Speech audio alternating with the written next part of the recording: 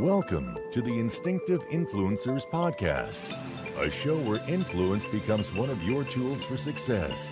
Now, here are your hosts, Brian Weber and Ed Haley.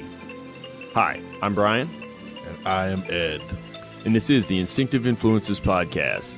Hey, Ed, so it's been about a week since we did that last one, man. Um, I'm wondering if uh, you've uh, hit the task that we gave not only the audience, but also ourselves. So I did. I will be honest. Uh, when I did it, I just kind of did something from the article. I attempted some things, not any in particular one, but yeah, I did. I did. Uh, and I had an excellent opportunity for some of them because I was traveling. So, um, once you find somebody speaks English, you know, strike up a conversation. Yeah. So we'll get into that. But yeah, I, I did get a chance. Yeah, me too. You know, I, I I actually made it a point. I knocked out two different ones that I I really kind of focused on, and uh, I just I thought, well, you know what?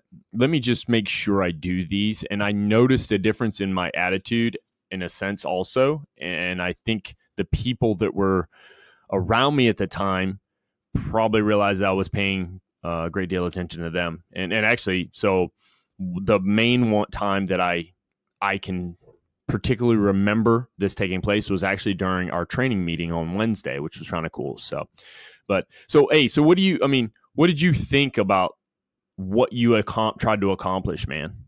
So it was odd. So I was I was concentrating on accomplishing certain ones, but I also recognize that I do some of the other stuff without even thinking about. It. So it's kind of a cheat for me, right? Like the first one I think last week was what like bring yourself to the here and now. Well, I do the the meditation and the mindfulness practice uh daily, so that that's already a thing I've been working on. So I kind of cheat on that one, but I did I did notice some stuff, especially kind of getting out of my own comfort zone and doing the and discuss having discussions with people. You know, using some of the active listening skills, like nod to show you're listening, because you can kind of almost see somebody's ears perk up when you give that nod, like, "Oh, he's listening to me," and then they continue on. So yeah, it it, it was interesting, and I did notice some some things throughout the week. I would definitely say so. The two things I tried, uh, one of the things was you know set the devices on silent or put it out of sight type deal. So I was sitting there and I was in the meeting and I had set the phones face down on the table, and I didn't really, I wasn't thinking about it right then. But then, and because I had them on silent, I did have them on silent, but my watch it went off and I caught myself trying to look at it and I was like, wait a second, no. So I took my phones, I picked them up physically and set them down on the floor uh, to make sure I didn't, you know, get interrupted. Now I still had the watch on, but the sleeve of my uniform kind of covered it over. So I purposely, you know, like I forced myself. And it is a little bit weird though, because you know how many times we've talked about Simon Sinek and what he has to say when it comes to like we we kind of live for that that buzz ding bleep the comments anything like that. And Yeah. i was just like i kind of felt a little bit anxious like i wanted to see what it was or who it was um, and well coming to find out it was my wife. She was just sending me some cute information about my kids which i always love those but uh, but i i forced myself through the entire time and i didn't look at it until i got to the very end of the meeting. It was over uh, and then i finally looked at my stuff. Now the other one that i found I found more difficult to do. Like I felt that uh, that was more difficult than playing than having the phone there was avoid fidgeting. Like I mm-hmm. really didn't realize how often you remember if you remember correctly when we went through the academy they told us not to play with pens and stuff like that, not to twirl them, not to you know, not to fidget. Yep. Yeah. And I did not realize how much I twirl a pen throughout the day when I'm talking to someone. Like literally right now, I'm twirling a pen in my fingers. so yeah, it's just it's insane, ain't it, man? Yeah, and it, so it's funny because uh so my fidgeting is doodling. So I wrote down literally I wrote on a piece of paper phone and fidgeting. So you know, I got some notes of what you're you're saying and then I started drawing a little like stuff around the fidgeting and um Are you So- saying you're not listening to me? no, Come no, on, I'm Ed. not. No, I did listen. That's how I got phone and fidgeting. Uh, what I did have done, right, uh, on this episode and on our earlier attempt at this episode is I concentrated on what you're saying and my cell phone is not even in the room. So if the you know if I get a call, text, whatever, I know you don't have that option with your position, but mine I do. So that's something I'm actually using on the recording of the podcast to try to uh, be better, have a better presence uh, on the show. So hopefully our listeners pick up on this. No. oh yeah. When you say call text, what do you mean call text? So nobody can call me, nobody can text me because my phone is downstairs. Like I don't even have it in the room with me. Oh, okay, yeah, yeah. Well, see, I'm actually I use the internet through my phone. Yeah, and I'm actually in my my office, like my work office, to record this because I figured, hey man, this the acoustics in this room are amazing. So uh, I'm not going to get echo or anything like that. Plus, I had some work to do today, so I was like, you know what? I'll wait till Ed gets up, and once he gets up, I'll get to rolling. But yeah, so my phone actually is behind me, but I put it on vibrate, so I wouldn't have to worry about you know anything. I mean, obviously in my position, I kind of have to pick things up if it's an emergency, but most of the time it's not emergency and i have some really good senior non-commissioned officers who know how to take care of stuff when I, i'm not able to so hey you know something i noticed i did today too uh, i was at the gym i was talking to a guy after i got done working out and he we were talking about uh, one of the opens that we're doing and i didn't know how to do uh, it's something called double unders the jump roping like where you jump and you have to get it twice yeah. i'm not very good at it. i mean i'm really bad at it like every time i like strike the back of my legs and I'm gonna have welt marks after a while. I pretty I'm pretty sure. Um, but I I just wanted to pick his brain about like techniques he used to learn how to do it, and I found myself doing exactly uh, what the sequence is that we were given. Uh, that sequence about you know when you're talking to somebody, uh, they finish their sentence, your face absorbs, your face reacts, and then only then you answer. So I, I, w- I actually tried to do that. Like I was actually trying to be mindful in doing that, and I felt myself, um, I I felt myself watching him also doing the same thing back, almost like he was mimicking me. So to me, when I think about these things, man, uh, and and those of you don't know what we talked about, go back to last episode. If this is your first episode, go back to last episode and then come back to this one. Maybe you know that whole presence or the charisma thing. I think it can be mirrored by people, and you can almost um, kind of you know, like transfer that you know subliminally in a sense. You know what I mean? Yeah, and it does too. So I find myself, um, you know, if I do find myself not nodding when somebody's talking, not giving that nonverbal feedback, but then I say something and they nod. Sometimes mm-hmm. I'll pick up on and be like, "Oh, oh yeah, yeah, yeah," and then you know I'll give them a nod. But uh, so I work with somebody that just nods constantly, and it's like okay now it's gone from a positive in my mind from a positive to a distraction because i don't understand why you're nodding so much. Like uh every sentence it's a nod every single sentence. So you can't overuse it and we've talked about that before but i think I, brian i think moving forward i'm gonna try another one. I'm gonna try uh this ask clarifying questions I think I'm gonna do that moving forward. I'm gonna try that this week. Uh, in addition to whatever we get out of this week's episode. Oh yeah, definitely. Yeah, you know that asking clarifying questions. I've always loved doing that. I really, I, it's just, it's one of those things. I, I think when we started ELM, Ed, that I, I actually believe that almost intensified it because of what you had to do during ELM to, to create discussions. Is basically ask those clarifying questions, but instead instead of asking clarifying questions, say straight to the person who said something, I would like bounce that off somebody else.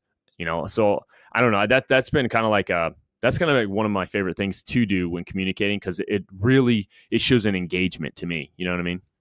Yeah, and that's why I think that I need to work. I want to work on it because moving forward, you know, the the job, the mission that I have uh, that I talked to you about, I'm going to be dealing with a lot of people and various cultures and languages so I'm going to need to have better understanding, and those clarifying questions could really probably help pull that out and, and give me the understanding I need.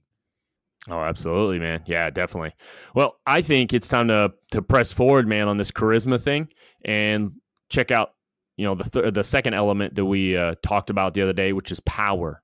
Right off the bat, man. Uh, I was I was kind of I was struck by this a little bit at first because you you don't you as soon you just see it, you think, okay, power, power, power, you know, like powerful people, that type of thing. But once you got it, once I got into reading it, I was like, oh, okay. It just, it's having that presence of power almost. So it's almost like not only presence but also presence of power that is what is that key indicator you know um right here I saw it, um, you know, and it was funny. You mentioned because we talked about the book, The Charisma Myth, and then you mentioned to me yesterday that because because this is actually 2.2 of the try of this episode because obviously we didn't get to record yesterday. um, but you mentioned to me that you actually picked up this book by Olivia Cabane, The Charisma Myth, and you also I absolutely did. And you also have the audio version too? Yes, I have the audio book version and um so it's a, it, the only challenge to it for me was there are exercises throughout her book that she wants you to do and she even tells you don't wait till you've read the whole book to go back and do these. She wants you to do them as you reach them in the book and that's that's very difficult when you're driving. So i have uh my chunk of time for that book has to be after i get home in the evening. It's kind of a wind down thing where i can go through the exercises but it's a it, you know it is a really good book. I, I thought she, I think she does a great job. I like the exercises. I think they complement the lessons throughout the book. So yeah, yeah. No, the, the first episode of uh, this series made me go get the book. So the funny thing is, is I brought a bunch of books with me. I mean, I left a lot of my books at home, but I bought a, I brought a bunch of books with me, and one of the books that I brought was the charisma myth. And I did not realize it until I, you know, like you said something to me. Yes, I was like, wait a second, are you talking about the charisma myth? And you're like, yeah, you, you know, you talked about it yesterday, and I didn't even think about it, man. And then, you know, once we started talking, I was like, wait a second, I got that. So I went and found it, and I have it too. But I have the, I have the paperback version, which now I'm gonna, I'm gonna have to go through and you know start looking at things and and really try to uh, utilize those same techniques that you're talking about that you heard. So I'm pretty I'm pretty stoked about this. Uh, with that though, audience, I'm going to make sure I add a link to the Amazon for Charisma Myth. And that way, if you want, you're kind of curious about what we're talking about, I'll, I'll I'll put a link. I'll do it for you know the paperback, the Kindle, and and then you can figure out whatever you want. So with that, Ed, you ready to get into this about uh, charisma is power? I love the idea of charisma is power. Remember He Man? Mm-hmm. Hey Brian, sorry. Remember He Man? Remember yeah. I have the power. See, He Man was charismatic. oh man. So it's funny you brought up He-Man. I you know, you know how you get stuck in um the like Facebook videos, like you just keep watching these videos that pop, you know, that populate below a video that you started and they're kind of somewhat like it. yeah. So yesterday I was I don't know, it was a movie. It was something about a movie that's coming out and I watched the video about it. And then the very next one was about do you remember the the Dolph Lundgren Masters of the Universe movie? Absolutely. I liked the movie, but the person who narrated this and, and talked about it, it was so funny because he said he, he was basically kind of like it was almost like he was talking about the movie, but he was also uh, dissing the movie the whole time. And when he's like, the Masters of the Universe movie, only half the movie is about the Masters of the Universe. The rest of it is about this kid who lost her parents and this boy who loves this girl and all this.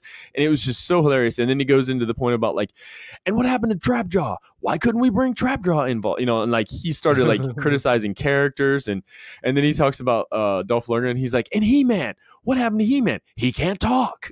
so yeah, it was hilarious, man. So that's what yeah, that's my little bit of. But all right, so here we go one of the key things that we noticed that Cabane she put out there, power according to her is simply means being perceived as able to affect the world around us, whether through influence or authority over others. Large amounts of money, expertise, intelligence, sheer physical strength, or high social status. Those that, that that's what she's kind of saying is you know like how to basically to you know have power I could see that in many ways. I can also see that, you know, so there's the good side of power and the bad side of power. You know what I'm talking about, man? Like where oh, yeah. somebody, they have, you know, large amounts of money and they may be powerful with large amounts of money, but they're not really using it for the right things. They're not really, you know, you know, they're trying to be charismatic, but they're really not. They're just being forceful. You know what I'm saying?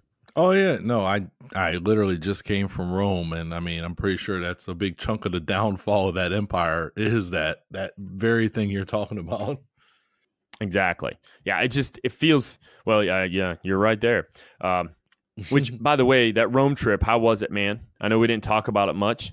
Oh, it was uh so it's the second greatest place I've ever been, right behind. I, I well, I mean it's the first. Second is Paris. It's the first, uh the greatest place. The Colosseum is the most impressive thing I've ever seen in my life. I've never seen nothing like it. Um, it's been through some things, and I didn't know they took chunks of the Colosseum to build St. Peter's Basilica in uh, the Vatican City. Really? I didn't know that either. Yeah, so the Colosseum, they took chunks of the Colosseum to build other structures within Rome and you know, and the Vatican City's right there. And then there's the holes that make it like Swiss cheese. Well, the way they used to hold the the brick together was with iron clamps, and iron was very valuable uh, at one time. So they were actually digging into the Colosseum, into the marble and the stone to get the iron clamps out to pilferage them.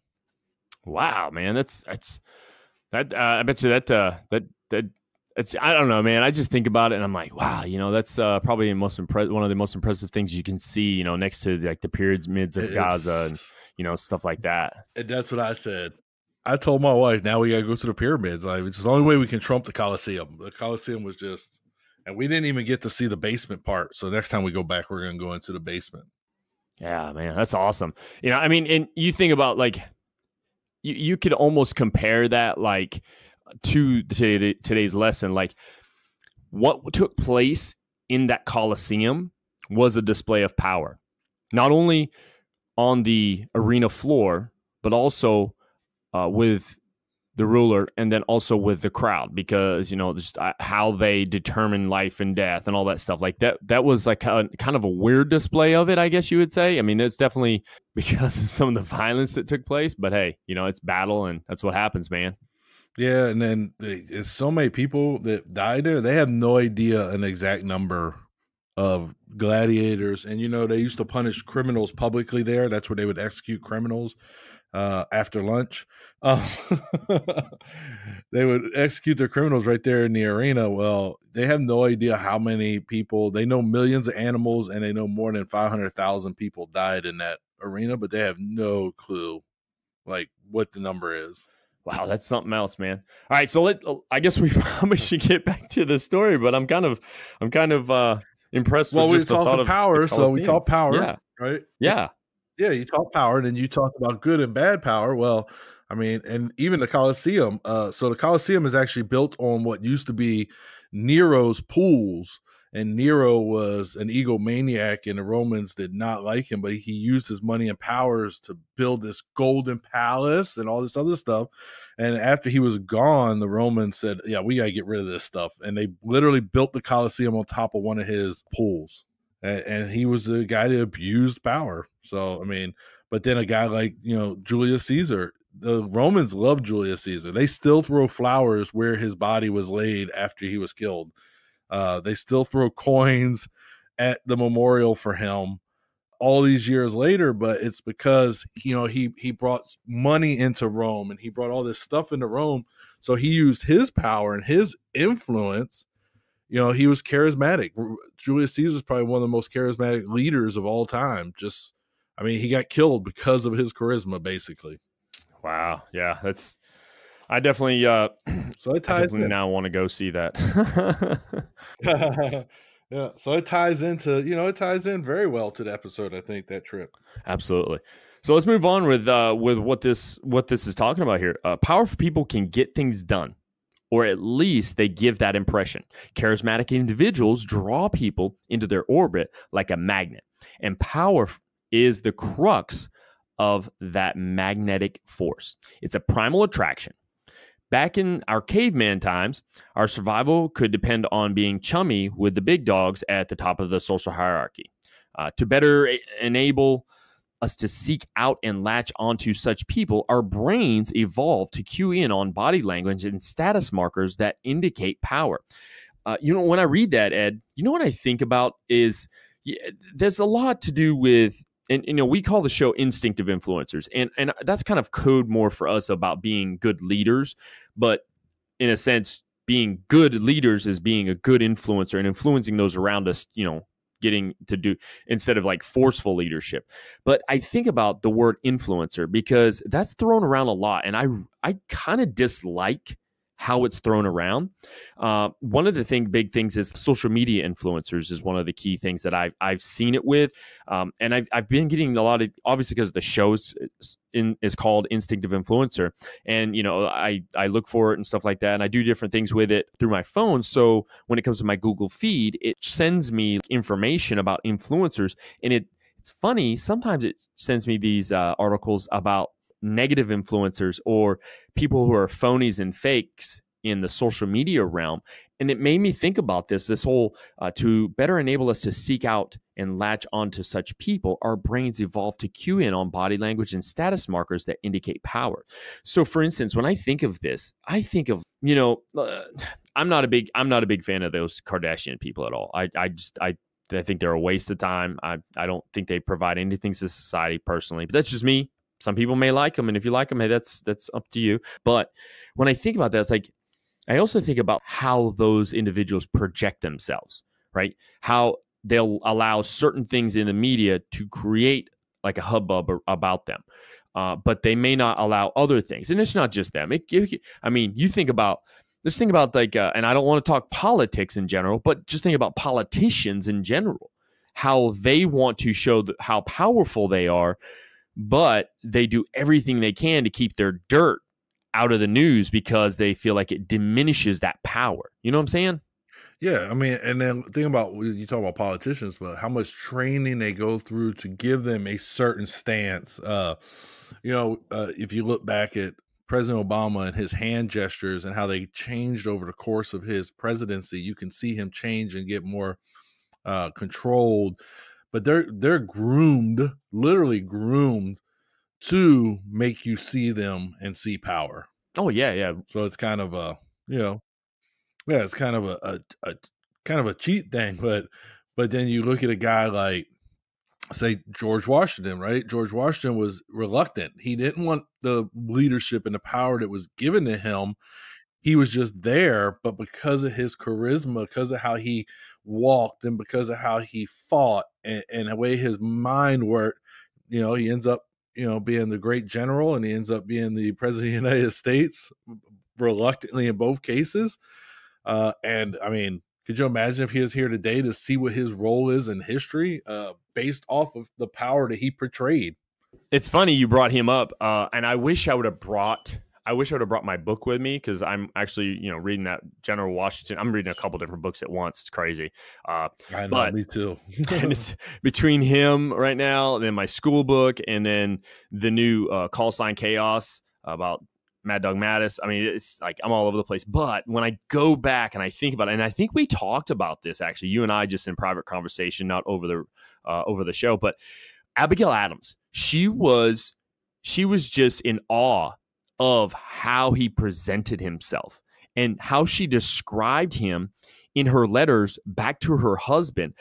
During that time frame i think that was considered to be okay good and all that stuff. But as i was reading i think i thought to myself i was like it sounds like this woman has a crush on george washington himself because of how charismatic he was and how much power he projected. I mean i actually got a little uncomfortable reading it but you're right like he knew how to present himself no matter what. And even when it, like you start reading about him earlier on, you start reading his younger childhood and just his upbringing, you're like, wow, like it was he was very good at watching and learning to ensure he did the right thing or presented the right uh, just how he presented himself and i mean you're you're exactly on point when it talks about like i think washington is probably one of our earlier examples of great power in America in a charismatic form.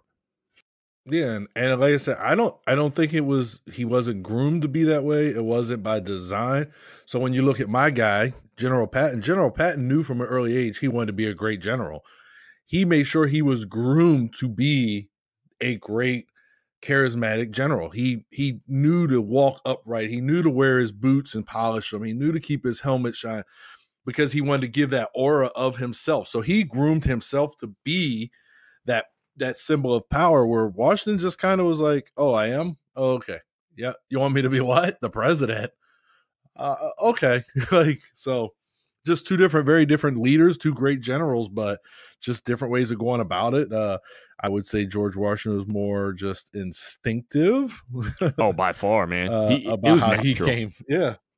yeah, yeah, he was. He was. He's amazing general. And that's and that's kind of like why I'm like right now. I am kind of stuck in this General Washington kind of mode and Mattis because I'm reading both of those books. But I'm really like, I'll read a little bit about them and their books. or I'll read something in their books, and then I'll I'll do some research like on the internet because you know the internet never lies. But um, so I I really think he has what it takes. You know, I I could only imagine what he would be like right now today. Like he would put he would put people like especially in politics to shame. You know, just the way he was. Um, so hey, let's oh, move yeah. on. We're gonna move on with this, and we're gonna actually be jumping into like nine separate elements of how basically you show that power. Uh, but real quick, this is what they have to say here. It's extremely important to point out here that each of the three components of charisma must be definitely combined in order to produce personal magnetism. You may be the most affable, attentive person in the room, but without power, people at best just see a nice guy, and at worst, someone who's needy and desperate. It may seem harsh, but generally, the value people place on your presence and warmth depends upon the amount of power they perceive you have. Here's a quick example. If you receive a compliment on a job presentation from both a coworker and the CEO of the company, which compliment would mean more to you? If you're like most people, it's going to be the CEO because he's got the power. And I can, you know, Ed, I can see that too, right? So let's just say like one of my peers gives me a compliment or one of your peers gives you a compliment, right? But then let's say the CG, the commanding general of wherever you're at, they give you a compliment and it's in this in front of the same group of people. It seems different, doesn't it, man? Well, it is different. Let's think about like, you know, um, you know, we give coins of excellence in the military, right? Oh yeah. So don't we compare the coins of excellence? oh, I have a I have a coin of excellence from a one star. Well, I have a coin of excellence from a two star general. So it's the same idea. Like, oh, I'm impressed because you got this three star general's coin. So it's kind of the same basic idea, right? Like we're we're stacking up their status based on who they are within organization. Oh yeah, yeah, yeah, definitely. And and those who don't understand, uh, we call them they're called challenge coins, and the old school mentality of it's like kind of like if you're somewhere and you where you can have adult beverages, if whoever has the highest one wins, and the the one below that that's uh, basically the higher ranking one wins, and the one who loses has to pay for rounds or whatever. So it's kind of it's kind of funny how yeah. that works out. But yeah, I keep mine. Mine actually are back home. I didn't bring in them with me. I do have some. I got I've received some since I've been here, and I kind of just I set them on my uh, my bureau uh, back in my room, but but yeah, that's those are you know what though, man, those are kind of a prideful thing too. You know, when when you look at them, I, I can look at each individual coin I have, and I probably have like 30, 35, I don't know. And I can almost tell you the exact moment or what each one was for because of how significant they were to me. And the individuals that were giving them to me, uh, I could I could kind of feel that charisma of power and, some of them some of them uh, not so much but you know so i totally can see that man yeah no when we read the article that's the first thing i thought of was like well we rack and stack based off of these coins kind of but you know you just brought up something interesting so i have one from a warrant officer who's just a who was a cw2 chief warrant officer 2 and the warrant officer had i think I, I don't know if i talked about on the show or if we talked about in private but they only had 10 coins made and they delivered these 10 co- coins to the 10 people who had the biggest impact on their career and i was fortunate enough to be one of those 10 for this warrant officer with 20 years in the in the service. And to me it's one of my most valuable coins. It's one of my favorites because of that. Oh yeah man that sounds great. You know i mean i, I totally understand where you're getting at with that. Um, and when you say that it's it's kind of funny. Um, I have a I have a coin when uh, actually I have two different coins, both given to me by my father-in-law. Uh, when I was promoted to E7, and then also when I was promoted to Master Sergeant, he gave me coins and he got my name engraved and the date and stuff. So I found, you know, that didn't come from a general. That didn't come from you know somebody who I served with in the service. Even though my father-in-law served and he retired uh, much before I even entered, uh, I find that those are kind of really important because he was a senior non-commissioned officer and then he gave those to me. And you know it's kind of like the feeling that that passing of the torch type thing. So and, and he and i have a pretty good relationship i would think uh, that I, I just i felt like those were the important ones to me you know? Yeah no I, I can see how those would be important as well. Oh yeah yeah definitely. Offering an impression of power mainly comes down to enhancing the things humans are wired to hone in on when trying to determine someone's level of it, body language and appearance, right? Uh, but just before that, he talks about increasing your charismatic power may seem difficult. It may feel like applying for a job where you need experience to get hired. But to get that experience, you need to have that job first. So we're going to get into this. We're actually going to get into uh, basically these different proven they're they're considered proven power boosters, and we're going to talk about them a little bit, and then we're going to look at kind of doing a, a, little bit of the same thing we did last week. But I think I I kind of feel like the power one's going to take a little bit longer. So we'll we'll see where we go with it, right? So right off the bat, the first one is boost your confidence. Do you find it hard to boost your own confidence, Ed? Well, it depends on what the situation is or what we're what we're dealing with. Uh, so I, I'll say, yeah, yeah, it's very. Um, I was going to say mission dependent. It's very uh, dependent on the on the situation. And uh, you know, to tell you the truth, like for me, one of those things I, I think about when it comes to boosting my confidence, it could be in multiple things. Is it my physical ability, my mental ability? You know, uh, what so with decision making or to be able to physically do something. Obviously, as we get older, we we can't do the things we did when we were younger, but we also become more knowledgeable. So it's almost like it's a transfer of that. You know what I mean? Like, uh, and I, I don't know, like, for instance, your extremes of physical ability when you were younger versus now that you're older. Like, Oof. same with me. I mean, matter of fact, I just said something to you before we started about like, I know I am no spring chicken. And when I did this workout today, I was like, wow, I need work, but it's not going to get any easier as I get older. No, it doesn't. Trust me, it doesn't get. but when when you talk about boost your confidence, like I said, was it's scenario driven. So I was just thinking about when we were at the academy, right? When you got there, you weren't very confident. But I like to think that as we gain mastery, as we got better at facilitating uh, classes and and dealing with the students, then our confidence went up. Oh yeah, and um, I feel like that you probably carried yourself, yeah, you carried yourself with a different uh, presence as you walked through the hallways because you knew these newer cadre were looking to you for answers to help them reach that same mastery. So your confidence went way up. So that's one situation where, you know, over a three year period, I went from like, oh man, I can't believe this. I'll never be able to do it to, this is easy. I got this. Oh, yeah, that, that's boosting. I mean, that's why I say it's very mission, you know, uh, or very uh, dependent on where you're at in the situation. Yeah, you call it task oriented, probably in the civilian sector. I'm not really sure. yeah.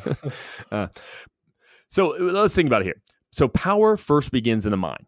If you feel confident and powerful, others will feel it too. Self assurance gives you an irresistible aura that draws people in and makes them want to get to know you better.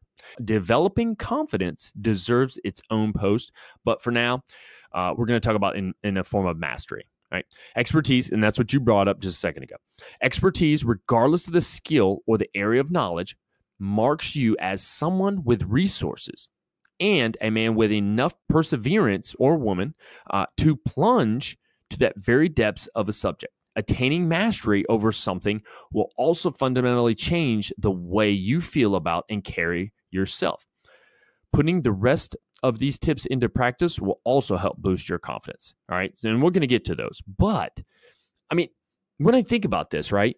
If I don't know something, right? If I don't know how to, um, so for instance, we are we're trying to getting uh, trying to get some heaters uh, up and running all right, these particular types of heaters, they they've been down for a little while, and I just happened to kind of throw it out there because I didn't know uh, with my senior NCOs, like, hey, does anybody know exactly how to get these particular heaters up and going? You know, check them, do good PMCSs on them to uh, really under like more in depth than what the book type says, you know, because of experience. And one of my uh, battles, he actually said, "Oh yeah, man, I, I I know how to do this. We did it. I did it in the field one time. We tore all this apart, and usually this and this are the two primary functions that create." the problems that we're seeing. I'm like, okay, cool. And then what I did is I said, hey, man, I want to get with you. I want to know everything you know about this. And the reason being is because I want to have that confidence to be able to project that off to somebody else and be able to teach someone else and then kind of have that mastery, if that makes sense. Um, so I can see that's how I understand like this whole boosting your own confidence by trying to learn and understand. Uh, Ed, you often refer to this in every episode we've ever done is lifelong learning, wouldn't you say? Yeah, it is lifelong learning, and we're and even the next one's going to carry over into the the lifelong learning. But yeah, I mean, what I know now versus what I knew ten years ago is totally different. And as leaders as we move up through our ranks within the military, right? And it's got it's got to be the same in the civilian sector. The expectation. So currently, you're you're ahead of me by one, right? One rank. So the expectation for you is higher than what it is for me. You're expected to know a little bit more than what I know. And and it, every time you get promoted, you're expected to have more responsibility and more knowledge. More responsibility and that gives you that confidence right. walking around as a leader to be able to, you know, have that presence. Yeah. Well, and you know, though I want to I don't want to uh for people to you know misunderstand what we're talking here too because there's also those people who show too much confidence and they real they're basically just arrogant yeah. you know and those are the types of people like okay i got you yeah you know too much whatever uh, what you're kind of speaking about is yeah i'm expected to know more but if i don't know then i'm expected to figure it out to and go learn it. That's yeah. I think that's a key piece. Yeah, yeah, and and we're gonna get into the next little piece. I actually I'll, I'll have you kind of explain it, but where I'm thinking about with this is is I don't know the supply system like you would, or understand how to you know deal with the the the universe of supply. But if I know somebody like you, Ed, I could probably bounce things off of you and say, hey, man, can you tell me about this? Help me understand a little bit about X, Y, and Z of the supply system because I'm having difficulties and I want to understand the whole realm of it and be able to problem solve. Because when it comes down to it, part of boosting your confidence, I feel, uh, is is what we're about to talk about, but also being able to use that for good problem solving uh, and having good problem solving skills when things come above, you know, come awry. You know what I'm saying? Yeah, I mean, so as as a supply guy, like it's important for us to be able to share information. Uh, you're a mechanic. I don't expect you to be the subject matter expert on all things supply, but you should know a little bit about supply, right, to be successful because you do have property, you do have equipment. Um, I expect you to be able to make my helicopter get off the ground or whatever kind of mechanic you happen to be. You know, um, physical training I expect you to know how to give physical training because those are that's one of the things that leads to um, power uh, and presence is knowing a little bit about a lot. So and, and I think a lot of that comes to which brings us to number two. Oh yeah, I'm sorry, Brian. Yeah, you're right. Number two. That's our number two topic. Know a little about a lot. so yeah, this is important to me. I think it's very important. So in addition to one area expertise, all right. You should also seek to know as much about as many subjects as possible. This is where my wife is. She's very good at this because I always tease her that she's a vast book of useless knowledge, but she knows a little bit about a lot of stuff. So that's that's her part of her presence, right? Intelligence is one of the key markers of a man who is able to affect the world around us. And the more conversations you can confidently wade into and add onto, the smarter and more well liked you will seem to uh, uh to others. This, yeah, this is like, and I think the army does a good job at grooming us for this because you do have to know a little bit about uh, everything. What's the old saying? Um, jack of all trades, master of none. Yeah. Well, yeah. all right. We want you to be master of your job, but you know what I mean, Brian? So yeah, for you, like in your experience, how important has this been throughout your career to know a little bit about a lot? Well, it's funny uh, you brought that up. Last week, uh, I spent a full day outside, like literally in the grind with nothing but privates and uh, KATUSAs, which they're basically the augmentees, uh, the Korean National Army, but out there in the grind, putting up tents with these guys because none of them knew how to properly put this tent together, these types of tents. And we'd gotten a whole bunch of them in, and we, hmm. you know, we're just basically do some things and, and and to kind of work things out and figure out how to operate things within our organization. So we get all these tents in. Well, you know what an A-frame tent is. Yep. I know what an A-frame tent is and how they go together.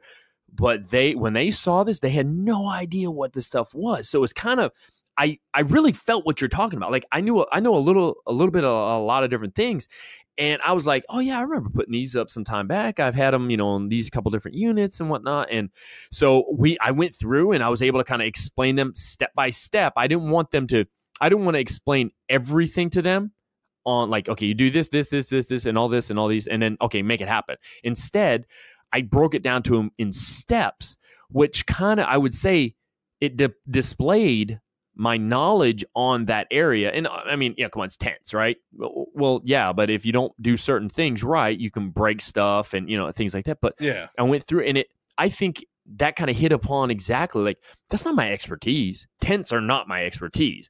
Generators are not my expertise you know what i mean? Uh, I, I definitely would say that uh, my expertise has kind of shifted through the years but it's understanding that and and and it, you said it right there how do you gain a wide breadth of knowledge? I really believe i like what they say here but i think it's trying it's you as an individual try to get involved in more. Try to do more or try to learn more. Now he says here he says read read read read every chance you get. Now reading does help. You and i i mean we preach about reading all the time to the listeners like read this or read that. Yes. understand i understand that but you know just as well as i do ed that there's also you've got to physically do some things. You've got to like actually go through the actions on some things to actually understand it. It could be, uh, let, us say it's a, a, a, a, supply, like a transportation supply organization in a civilian sector. Well, and we talked about this before uh, when we talked about making sand tables. If you don't physically go through it and see it and understand it, you may not really have a full breadth of knowledge. Yeah, the visualization is, is key, and then the actual physical experience is, is very important. I mean, yeah, read, read, read, and there's examples like you know you just talked about you're reading a book call sign chaos. Uh, ah, love it. The former Secretary of Defense, General Mattis, right? And in it, he talks about how much he read, and then he talks about in the early days of this, uh, the global war on terror, how he was strategically using things he had read right? To make decisions on the battlefield. And again, he was going back to ancient warfare times and using that to drive decision making in 2003. That's an example of where read, read, read. Like obviously, he he's probably practiced and got the muscle memory through training with his troops, but there's a reason that these great leaders uh, have these giant, extensive libraries because of the read, read, read. But I'm I'm like you too. Like at some point, I could read how to put that same tent together. That doesn't mean I know how to put that tent together until I get out there and and start putting. You know what I mean? Putting that tent together. And by the way, for those that have never experienced these wonderful tents, a lot of the tents that the military buy, well, it's like solving the riddle of the Sphinx. Like these things are not easy to put together. It's not as simple as that that tent you can buy at the local Walmart and throw up. You know. Um, yeah, but yeah. yeah, so yeah, I can know everything that there is in writing on that tent. Does not mean I can put that tent up. Does not know that I know how to set the stove up or the heater for the tent, you know? So you have to know those other areas as well to get that power, right? That's the power people see. They're like, wow, you know, First Sergeant knows like this is a, a you know, you, uh, I don't know if you ever got to meet Command Sergeant Major Sayatola, but Command Sergeant Major Sayatola, like you're talking about a guy who had elevated to some of the highest positions for a sergeant major in the army. But he came to visit us one time in our motor pool in Iraq, and he looked at a guy and he goes, "You're about my size. Go get your coveralls. Bring them to me." And he puts on coveralls, and his background was maintenance. And here's this command star major of a corps at the time, right? Right. And he rolls under the truck and he changes ball joints for the rest of the afternoon with the soldier. So what's the impression he just left? That soldier's like, wow, Sergeant Major has not worked on vehicles in how many years, but here he is changing these ball joints on the Humvee. And not only is he changing ball joints on the Humvee, he's doing it shoulder to shoulder with me. That's mm. presence, that's power. So he's combined these two things. That's charisma. And he was a very charismatic leader, one of the greatest sergeant majors I've ever dealt with. But yeah, so that that's uh, to me that's an excellent example. He you got to know a little bit about everything. Yeah, definitely. And you know, I I kind of it makes me wonder because you know the next show is actually going to be the third element of you know being charismatic, and that's warmth. So it also makes me wonder like how he fit into that puzzle a little bit, you know. So, but I, I would definitely think that the engagement during that uh, that particular little task, it probably wasn't like a, a demeaning or, or, or anything like that. There probably was some conversation to be had during it, and that it it was probably mm-hmm. there was probably an essence of warmth along with that, wouldn't you think? I, it definitely was, and not just that conversation underneath that Humvee going on, but what about the people who saw it? What about specialist Haley going back to the office and say, uh, "Y'all won't believe this, but the third corps sergeant major is out there changing ball joints." Like, you know what I mean? Like the word of mouth that what he did gets him that gets him more respect, more you know because of who he is. Yeah, he's got rank on his chest, and we talked about this. So there is a level of his presence that's based off of I'm the sergeant major of this entire corps, but at the same time, there he is. You know, I had a first sergeant who used to gun on the gun truck sometimes when we did convoys. Yeah, that's way below what y'all are expected, but that's who he was. He's like, if I'm gonna put my mm-hmm. soldiers mm-hmm. in a turret, I'm willing to get in a turret too. It's just yeah, how he was. Uh, what was his name? Becerra, first sergeant Becerra. Wow. Yeah. You know, it's funny. I can't remember. I can't remember the sergeant first class when I was. I was a private in basic training, and I think I've mentioned this before on the show, and I'm just going to reiterate it. Uh, we had just done this obstacle course at basic training, which was 21 years ago. Um, we did this obstacle course, and he, we were out there. You know how you have your little detail, and you have to put the sandbags back in line. You basically do a cleanup type thing. And he was out there, and he was he was helping us physically doing the things and if this has stuck with me, Ed, the my entire career, my entire career, this one comment by a sergeant first class who I don't even know his name. I wish I did. Uh, he said to me, he said, "Don't ever show that you can't do what your soldiers can do, and show them that you have that same ability they have, and they'll respect you more." And I thought that right there, yeah, that's. And I, I, I always think of that. And now it's funny, like I, I'll grab. I, I may walk in the office in there and I'll notice that the trash is uh, getting a little higher, and maybe uh, it's time to uh, take it out. But they hadn't gone. You know, the, the, end of the day hasn't happened, so obviously, and I'll just grab it, take it outside, and it's always every time. You know what they'll? No, let me take care. I'll do that for you. You don't need to do that. And it's like, no, I'm. I don't have broken hands. Uh, I can work just as hard as you, and thank you very much. But I, I think it's my turn to take it out. So, and I would do, you know, stupid stuff like that, you know, or sweeping. I mean, it's to show you can still do the the basics really helps out. So yeah, man, I loved your story, brother. That's that's motivating in itself. Yeah, no, that's right, Brian. Oh, I mean, I'm a big subscriber too to that. You know, with the soldiers can do it, I can do it type of mentality. And I would challenge. I mean, I'm not by no means am I the absolute end all be all expert on military history and leadership, but I would challenge you to find a military leader in history who did not circulate to the front lines of that battlefield or fight shoulder like Caesar shoulder to shoulder, Hannibal shoulder to shoulder, Patton, Washington, uh, shoulder to shoulder. Lincoln, who was not a military leader, did is uh, well known to have spent all his time in the Defense Department during the fighting uh, of the Civil War, waiting for the telegram the instant it come in for frontline. But then his troops, Grant, uh, even on the other side, Lee, these guys were all listening to bullets whiz by them, leading their soldiers. So, I mean, I don't think you can find a leader who was not like that. Uh, even General Mattis, General Mattis, Battle of Fallujah, he's right there, right? He's right there at the front leading his guys. And he was a general already, and he's still trying to go to the front.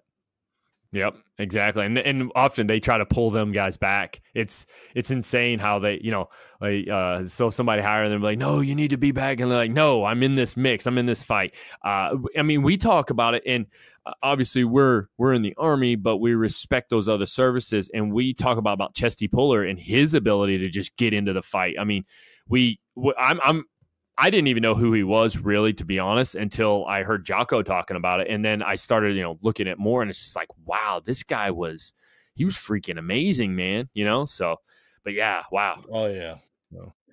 Yeah. And, and so all these guys, so all these guys, Brian, in able for them to do that, it, it's going to lead us into this next topic. This is one of the things that they, they have to be in order to uh, have the perseverance to oh, yeah. continue to fight to fight these long battles and hours. So would you uh w- would you talk to us about the next one? I think this next one is something that's actually between you and i although we work we do different types of workouts you know we work um, our what we do is a little bit different. We still we still get after it and i think i feel like ed between you and i i think this is an important thing that you and i see as a soldier and just as a human being it's becoming physically fit. And we've we talked about that in an episode before about presence is being fit. Um, you know, it's funny, and I, am going to get into what they have to say here. But so uh, General Abrams, he's here, you know, USFK commander, and he yes. he's all he's all over the place on social media. He's I, I, I love reading his posts all the time. It's just, just hilarious, and he and, and and some of them are informative and, and really good. But he does a lot a lot of posts of physically fit type things where he's out doing stuff with his entourage or his soldiers or whatever that work directly with him. Uh, he just did the Army 10 miler in Washington, D.C. Now he's back here with us, you know, type thing. I see him sometimes. Like I'll be, I go to the gym, but I go to gym at zero five when it opens before PT at six thirty. But I'll go to the gym, and sometimes I'll I'll be kind of almost about to leave, and that's usually when he's showing up, going upstairs, and he does the CrossFit thing like I do. Uh, but and I know you know how you feel about Ed, but but he at at his age, you know, I mean he's he's up there a little bit. He still gets after it like like nobody's business, and to me, I think that really sets a precedence um, of what kind of leader he is. And I think the guys that you talked about before, they had a physical fitness to them that kind of portrayed power. Uh, let let's see right here what it talks about, Ed. Your body shape is one of, if not the first thing people take in when they meet you. I mean, that that says a lot, really. You know, you think about it. When you first are introduced with somebody, you notice their that you notice their who they are before they say one word to you. The physically fit part and the very next one we're going to talk about dress for power those are the two things be they could be walking towards you. Those are the first two things that you notice about those people. Those that whole first impressions the lasting impression i really do believe that. I, I firmly believe yeah. that because yeah. if you show up to me and i'm just gonna i'm, I'm gonna say this and people are gonna get a little upset and they'll be like well i'm kind of big. No in the army you can't be fat. You i mean and when i say i mean like obese you know? I'm i'm a little heavier. I i get taped so we do this thing where we have to meet a certain height weight requirement, right? And and I know you're the same way, Ed, because you're you're a, a larger person. Not I'm not saying you're fat. I'm saying you're a large. You're shoot. You're way taller than I am, and your arms are about as big as my head. But we both get you, taped. but but we both get we have to do what's called a tape test to figure out our body fat percent because it has to be under a certain amount. Now that doesn't that doesn't mean that we look obese, but I'm talking about people who look like they just got off a couch they've been sitting on for 6 years eating nothing but Cheetos. You know what I'm saying? Like that says something to me. Now, somebody would say, well, you know what? They may be really intelligent. They're good. I got that. I understand that. But especially in our our line of work, if you're that big, how do I drag you off the battlefield? How do I or how do we mm. run for cover together? You know what I'm saying? Like I think of those things. And and it's not to make and I'm all about, you know, trying to get people physically fit and stuff like that. And if some people just you know, they got I got a thyroid problem. Okay, I got you. There's medication for that or you can do, you know, whatever. Uh, and people may think I'm being a little cruel sounding with this. I, I understand, but in my mind, I just like the things that populate in my head, Ed, are like diabetes, heart issues, um, just different types of cancers. you know, that our body when we don't even we don't even know the all the elements that lead into like all the some of these different things but we do understand like so for instance you know they talk about runner's high or or or, or uh, physical fitness like uh like the endorphins and how those kick in and make us feel good like that helps your body makes you feel better about yourself first and then other people also notice those things you know what i'm saying yeah no and and you think about like i don't i'm I don't want you, I'm not going to use the name. You'll know who I'm talking about you know, when we were together in the aviation unit, we had a commo guy, amazing, really good guy, hilarious, hard worker, but he was way outside the regulations. I think you'll know who I'm talking about if you really think about it. He was way out the regulations, but some stuff maybe got overlooked here and there, and they maintained him, and he deployed. Mm-hmm like that and i'm like like we're yeah. talking when i say way over we're talking double figures over the body fat percentage yeah. and and it was based off his work ethic and i was like yeah but i mean yeah he's a great worker but there's another great worker out there that that mm-hmm. if they get wounded i can help but honestly if he gets wounded i can't help him like he could die yeah because i cannot get him to safety and, and to cover so and then the other thing to me, the more fit you get, uh, and and again, I've by no mm-hmm. means been physically fit my entire career. I have struggled at times really bad with maintaining. Uh, but the physical fit it tells me you're disciplined. So when you go to that job interview and you're looking sharp in your suit and you know and you're looking physically fit, I know you have discipline at that point. I don't even have to ask a oh, question. Oh, yeah. I don't need to know you were military. I know for a fact you have some kind of discipline. So I can work with that. You know what I mean? Yeah, to a certain extent. And and I don't want to so I don't want to put too much emphasis on, you know, physically fit is the only thing because I truly do not believe that. I do not Oh no. I'm not one of those people that believes if you can you can run um, you know, a 12 minute 2 mile you know, on the APFT that you, that makes you a great leader. I do not believe that. I've seen many of people that can get a 300, which is a perfect score for those of you not in the service. I've seen many of people that get a 300 that I would be scared to allow to lead soldiers.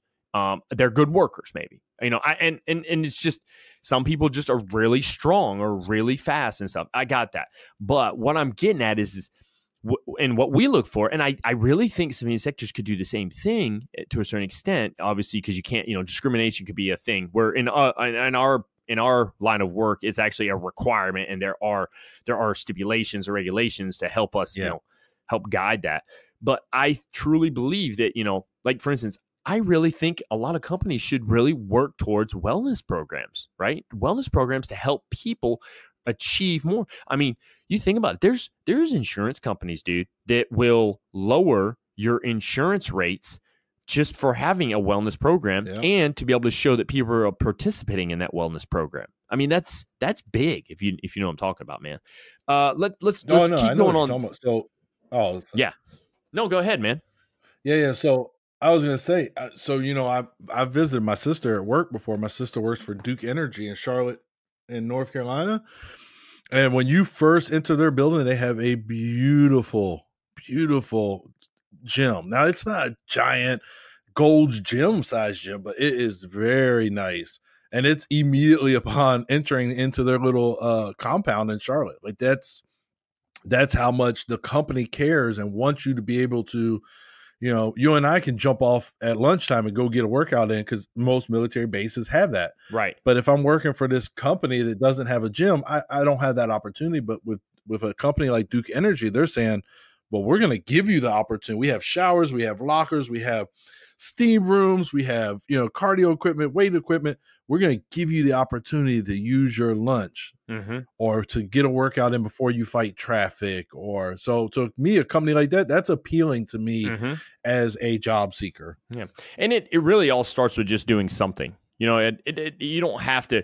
You don't have to be somebody. You don't have to be a Rich Froning or a Matt Fraser or uh, or uh, what's some of those uh, strongman guys that you watch, Ed?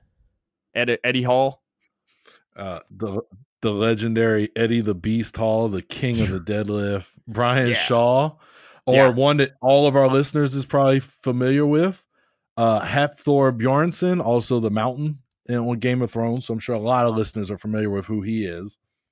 Yeah, I mean, it, you know, those those type of people, that they're all they're all have a, a, physical fitness to them. Obviously, I mean, you know, to be able to deadlift as much as Eddie Hall had, you know, there's there's some something there. Uh, you don't have to be them, is what I'm saying. It's just dude and I, I was just having a conversation with my wife earlier today. She's really excited because uh, the children they just and uh, she put a bunch of pictures online already. They just did their first kids spartan race which was really cool. I mean my son was covered in mud and it, they were excited about it. And and my wife she's going tomorrow to do hers. And she's like she was really i could tell she was excited like in her oh, voice wow. and stuff. So i was like yeah she's hooked. So yeah she's gonna go do her first one tomorrow but and we just we're having conversations. She's like, "Well, I, I just hope I could do really well." I'm like, "Honey, it doesn't matter. You know, I mean, you, at least you're trying. That's what matters. You know." And she's like, "Well, it's three miles, and I've, you know, yeah. I don't do a lot of running like you do, and all this stuff." I'm like, "It doesn't matter. I said you're doing something. You know, it's like it's people that will do 30 minutes of rigorous activity every day uh, to get their body well. That's what that's what really matters, man. So let's get into this a little bit further. It talks about a fit muscular physique sends a signal to the most primal parts of other people's brains about your strength and ability to dominate and protect. Physical fitness also signals to other people that you're disciplined and capable of enduring mm-hmm. pain in pursuit of a goal. Oh man, that that speaks the truth. I, I went through that today. I was I was like, I got to about round eight of the 20.1 or yeah, 20.1 open. And I was like, what am I doing? How am I doing this? What is going on? You know, I was starting to doubt myself. this is likely why men with an average to husky build make more money than both their skinny and obese peers. As reported by Wall Street Journal, one study found that thin guys earn $8,437 less than average weight men but they were consistently rewarded for getting heavier, a trend that tapered off only when their weight hit the obese level. In one study, the highest pay point on average was reached for guys who weighed a strapping 207 pounds. Man, I man, that's I could see that too. You know, Ed, I could see that where where it talks about the fitness is also signals to other people that you're disciplined and capable of enduring pain in pursuit of a goal. Because I mean, how many times have you, you know, whether it be a deadlift or or or you're squatting or you're bench pressing, that you know, I mean, you are in like you know it is painful and you're just struggling to get it up, yeah. and you know it's a feat, and others are just watching in awe. yeah, I do like to, I like to watch it all without throwing the weight on the ground, though. Of course, I mean, what am I? Uh, I try not to throw the weights to get that attention, mm. but yeah, yeah. I mean, even running like uh, you know before my my injury i used to run all the time like a 100 plus miles a week easily and it's so painful but the high you get and how good you feel after was it was like okay that was worth it uh, mm-hmm. i won't run that far tomorrow and then tomorrow comes and you're like oh well maybe i will. Like yeah it's just a it's a risk reward but the reward is always great.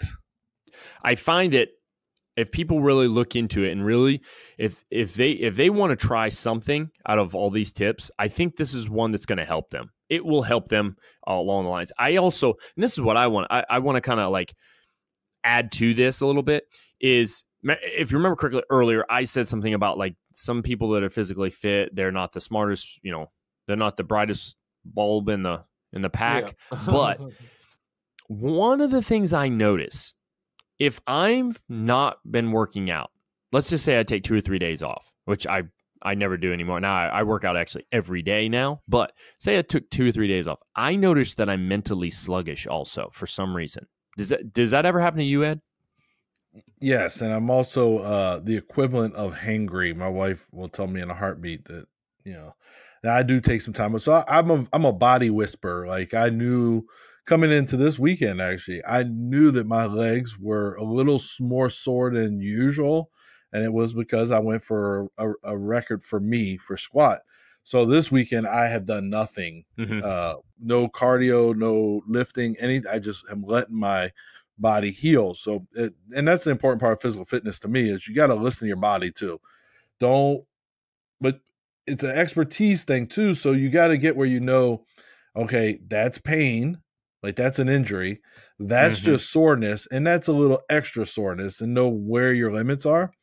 So, and that's one thing. I mean, pain is going to happen. That it's just part of working out. It's and it's not bad pain. Yeah. uh, you know, it's temporary. Uh, so yeah, no, I, I this weekend I just I just I've been hanging out for two days, and I'm okay now. Tomorrow, if I don't go, then uh, I'll notice a change in my my attitude. I'll be sluggish. I'll want a nap. Like I, I can tell the difference if I go like that. Three day is kind of my limit. Hey, three day. If um, if I'm at three days, man, I'm so sluggish to get back. I mean, I'm I'm pounding the pre workout beforehand because I'm just like, uh, you know, like I have to do a lot of stuff to warm up if if I'm that far in, and and that's normally like when I'm in travel mode. That's how it is, right? It's it's tougher to work out. You can do some stuff here and there, but yeah, it's definitely tough.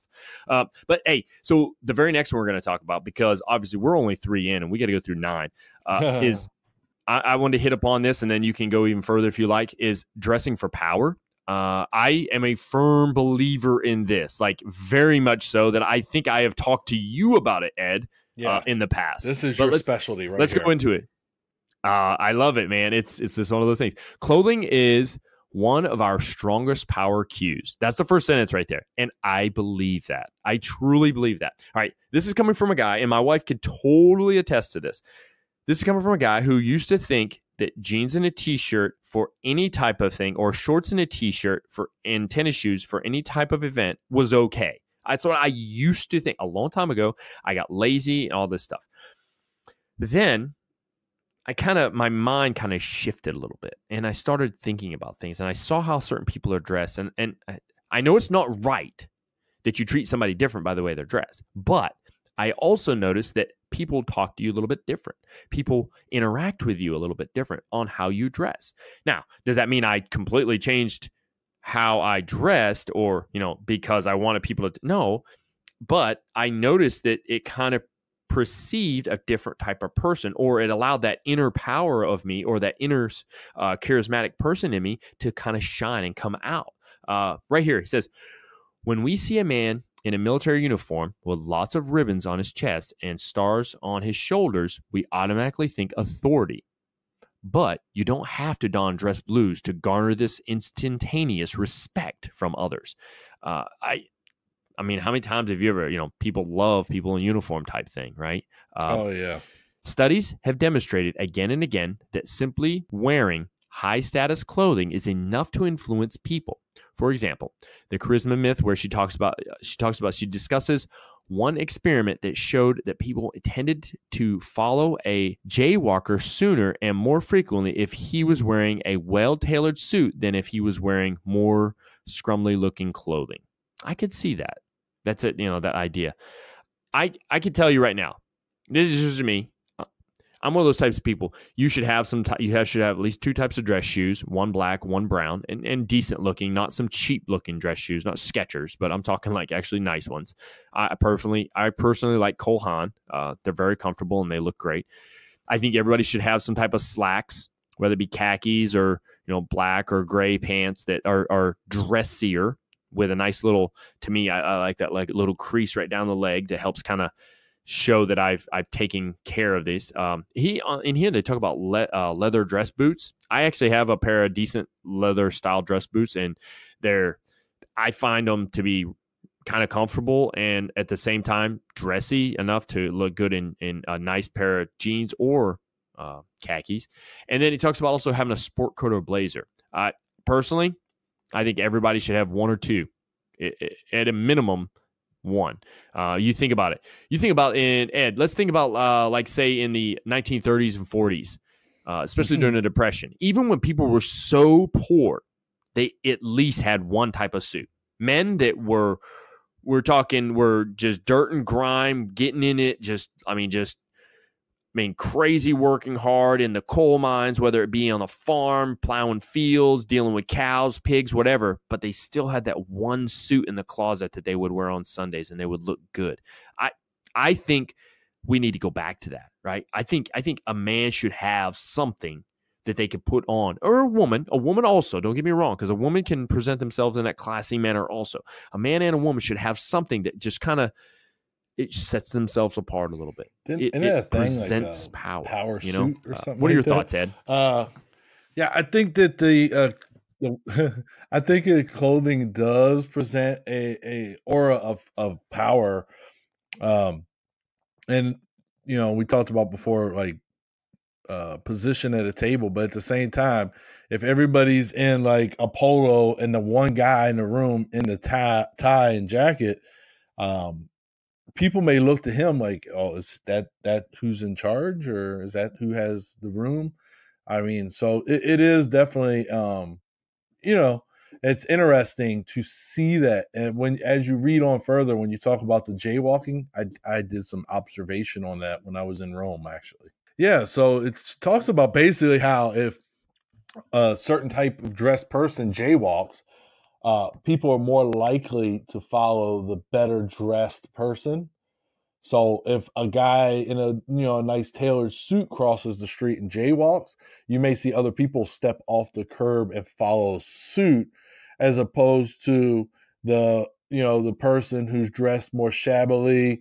Uh, in the case in Rome, what I saw is um, one of the local panhandlers kind of would jaywalk, and nobody really would follow.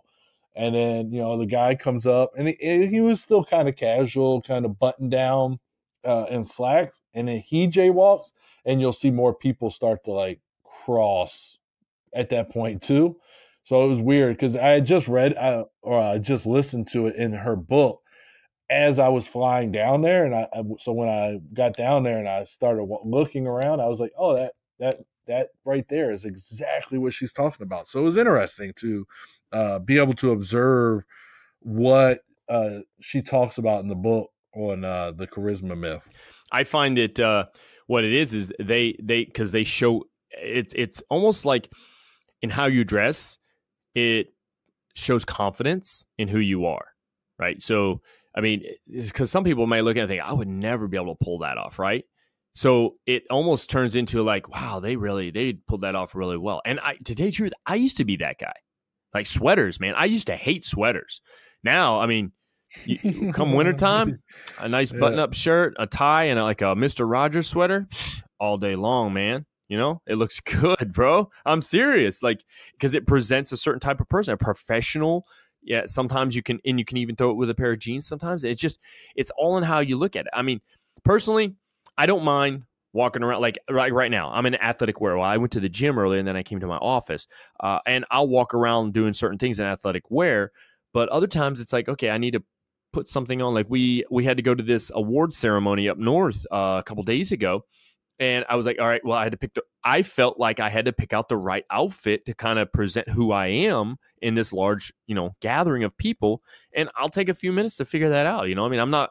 I won't sit there and like ponder it for hours, but I'm like, okay, let me match this up, make this look good. You know, I mean, and and it's all part of presenting who you are. Because I'm telling you, when you show up and you look a certain way, before you let one word out of your mouth, if you have that physical fit look we talked about, and you got the the clothing, now all that's left is what we talked. The very first thing was building that confidence and having some knowledge on things and to be able to get things done. And it was crazy too because when when we had a little incident of trying to get something taken care of that had to get taken care of really quick, Hmm. there was this a particular captain. He came over me, and I was the first person he wanted to help him fix this problem. You know, and it's because he knew. And I just, it's one of those things, man. So, um, oh, he talks right here.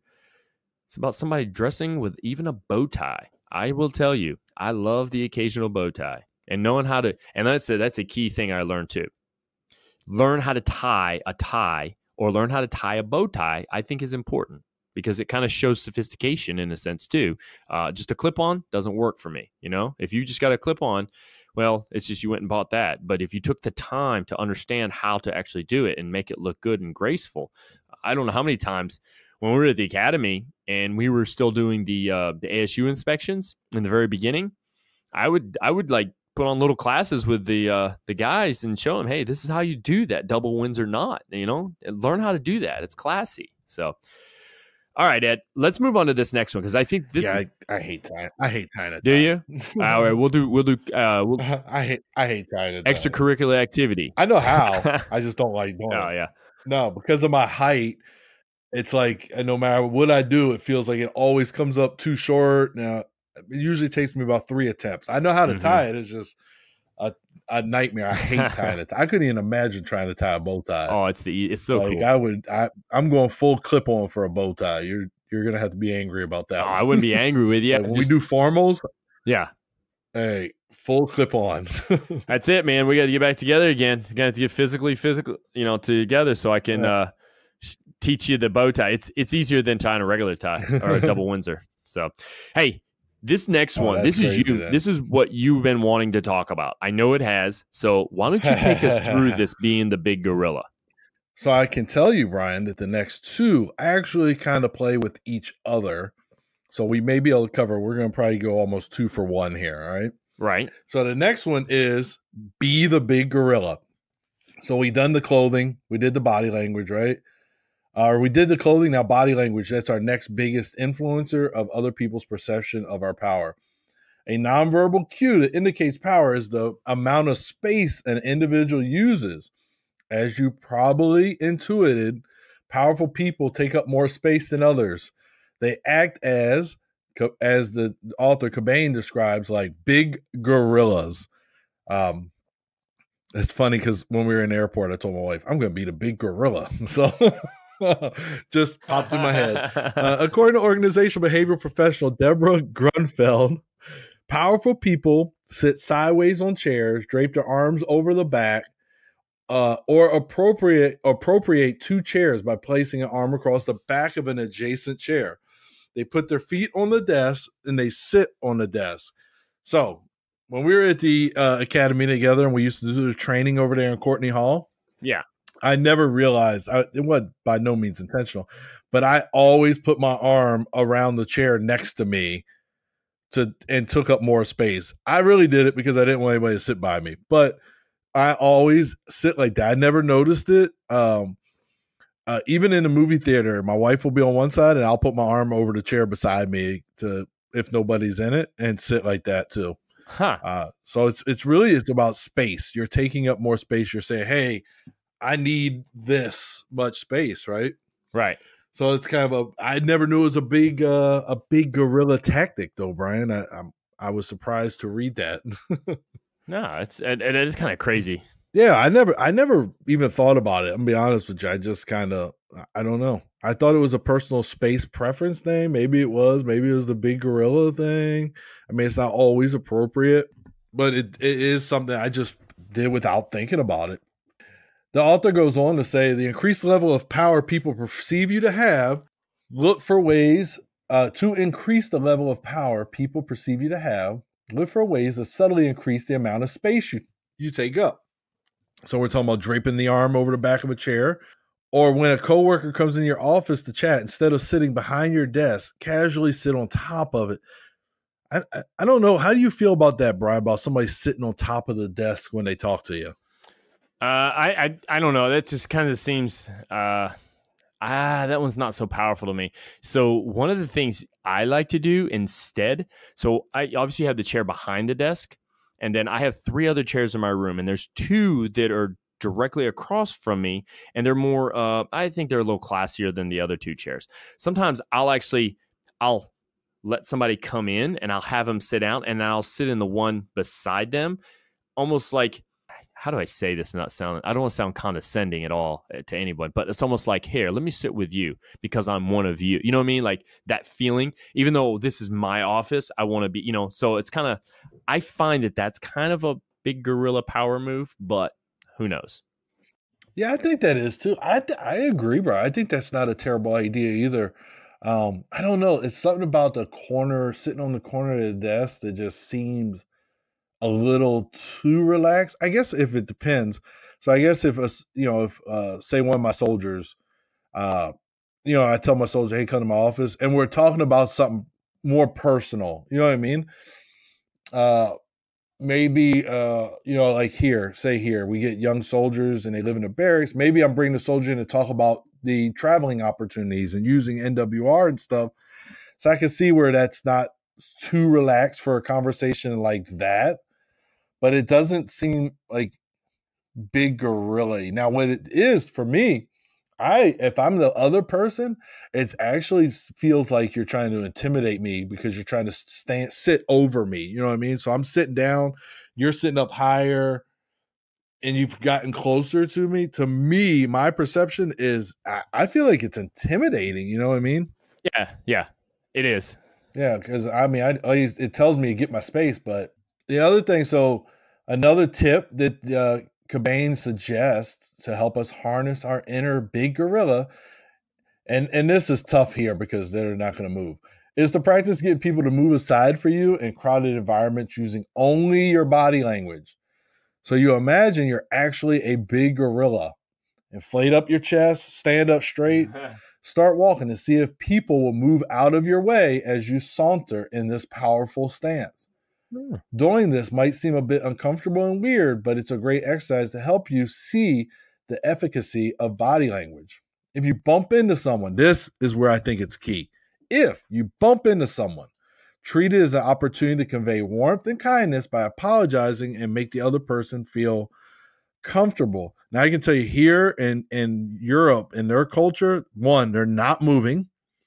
And if you bump into somebody here, they're not even flinching, man. You know, in the States, if you bump into somebody, they may get a little uh, upset about it, might get an attitude about it. Here, it's so a norm uh, when you go to like crowded Christmas markets or when you're on the train or whatever. It's such a social norm here that they will literally just bounce off of you and keep it moving. You may not be able to show warmth by offering an apology here, Brian. Uh, I've done it and again, I'm I'm a broader person from shoulder to shoulder, so I do require some space to get through, and people will just bump into me like I'm not even there. Uh, and when I first got here, that was something we struggled with. That when I got here, I struggled with that whole idea of like, I know you see me, I know you see me. Uh, but yeah, it's just a Europe. Everywhere we've been in Europe, like I've been to uh like five, six different countries now, and all of them are the same in Europe like that. It's just, it's so busy. Um, you know, on the train, there's no personal space.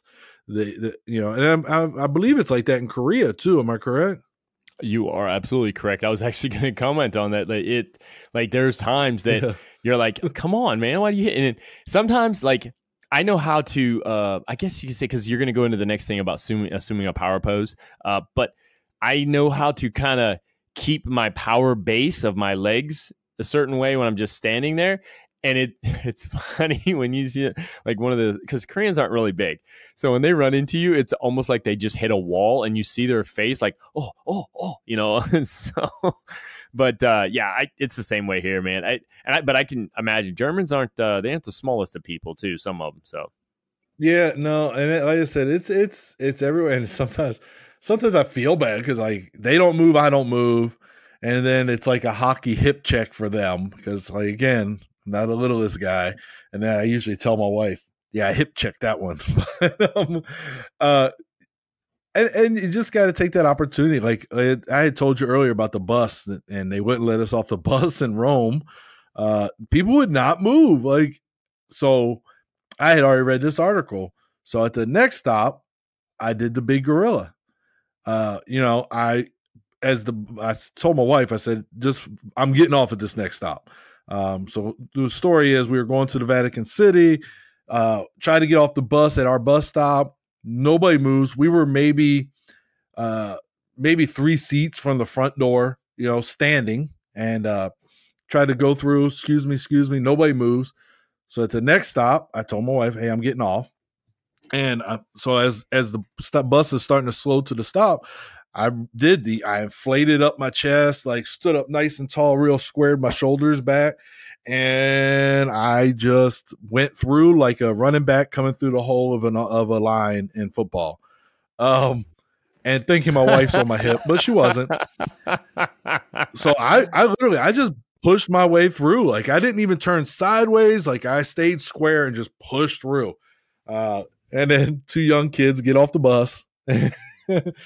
and I look behind me and there's no wife. And so the kids get ready to get back on the bus, and I put my hands on him. I put my hand across his chest and I said, Hey, let my wife get off the bus first. And I see her come off the middle of the bus. So I just say, uh, you can get back on the bus. Sorry. I gave the apology, you know, and and that's where I practiced, uh, you know, last week's episode. Like I, direct eye, I looked him right in the eye and was like, "Hey, you know, hey, sorry." And he got back on the bus. He said something to me. He probably cussed me out in Italian, but yeah, I had to use the big gorilla there. Uh, again, it's not always feasible. I feel like sometimes it's rude. I I feel like because of my size, sometimes I need to go the extra effort to get out of the way. Um, so I don't know how this big gorilla thing really and truly will work out for me. You know what I mean, Brian?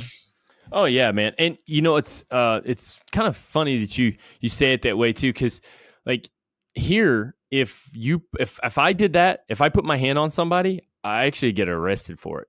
You can't you can't physically touch someone like that. Like you can't hold them, you can't it can't even be perceived because it could be it, it could be considered like uh, like a SHARP violation almost. I'm talking about on the outside, out on on base and stuff. Uh, you have to be very careful of how you touch people, hmm. right? Yeah. So like well, that's one of those ones I have to be very cognizant of. Yeah, I may have. Well, so I can honestly, if we're being 100 percent honest, maybe I did the wrong thing, but when it comes to that that lady that I'm married to, I wasn't letting her not get off the bus. So I was definitely willing to take that kind of a risk. You know what I mean? I may have been wrong too. It may have been something I could have gotten a lot of trouble for. But rather than let her go to some other bus stop, some random place in Italy, yeah, I'll put my hands. I, and I, I, just put my hand across his chest. Like I didn't really like pound him or nothing, you know. So yeah, yeah. And, hey, but it, it wouldn't have mattered if I'd have got in trouble. They they didn't want to let us off the bus. I can't have her lost somewhere. yeah, but you know, you know, I kind of noticed this it in a, in a when you're in a group of people too, even especially, and this is like let's let's go back to uh, academy days too. One of the things that you used to do, and and uh, obviously Furman he continued doing, I because I, I watched him do it once you were gone, was like when you bring new students into the uh, the facilitator course how right off the bat you just you just throw something at them to uh, to accomplish and they don't even know each other yet um, and they all they see is ranks and stuff.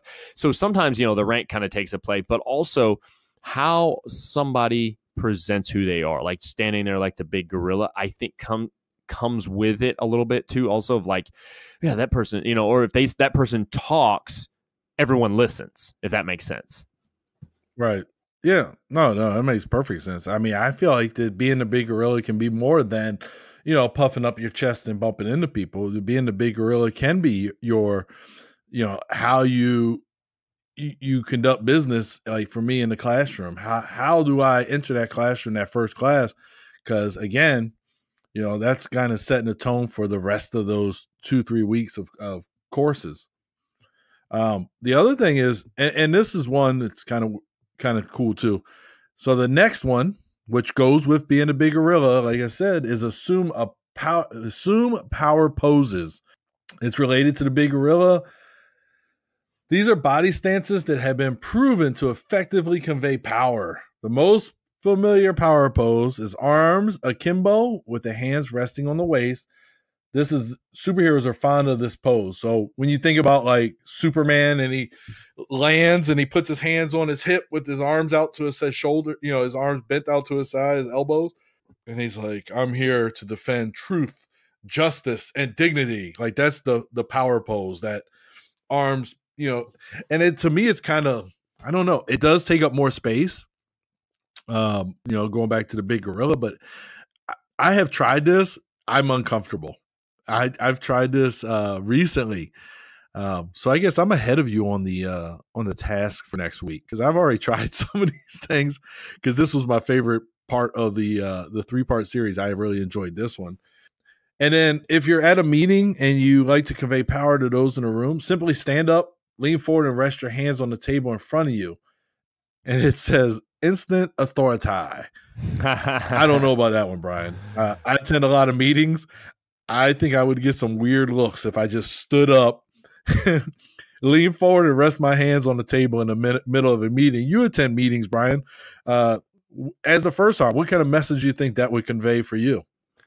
that well, right off the bat, they're going to think there's something wrong, and they're about to get chewed out if I did it because of my position within the organization. Maybe I think that so this I think that falls in the line of understanding good emotional intelligence, Ed. It really is. Ooh. Because let's say I'm not getting cooperation like I need. If I needed good cooperation and and I'm getting pushback from my platoon sergeants, maybe I stand up and do that. And they're like, oh, he means business, right? I don't raise my voice yet. Mm. I'm just using, I'm escalating force in a sense. You know what I mean? So I think, I think I it works, but you really have to understand emotional intelligence to be able to make that work. If you just do it all the time, people, oh, he's just standing up again. He's a loser. Yeah, no, I, I kind of I like what you you said there though, because it does kind of give you that. I don't know. Let me let me try it. I'm gonna try it right now on the air. I'm gonna try this pose and see how it feels. All right, here we go. Yeah, that feels. I don't know. It feels weird. If you were sitting across the other side of the desk from me, I imagine you would feel like I'm trying to hover over you. Maybe I just have an issue with being intimidated because I feel like it's very intimidating.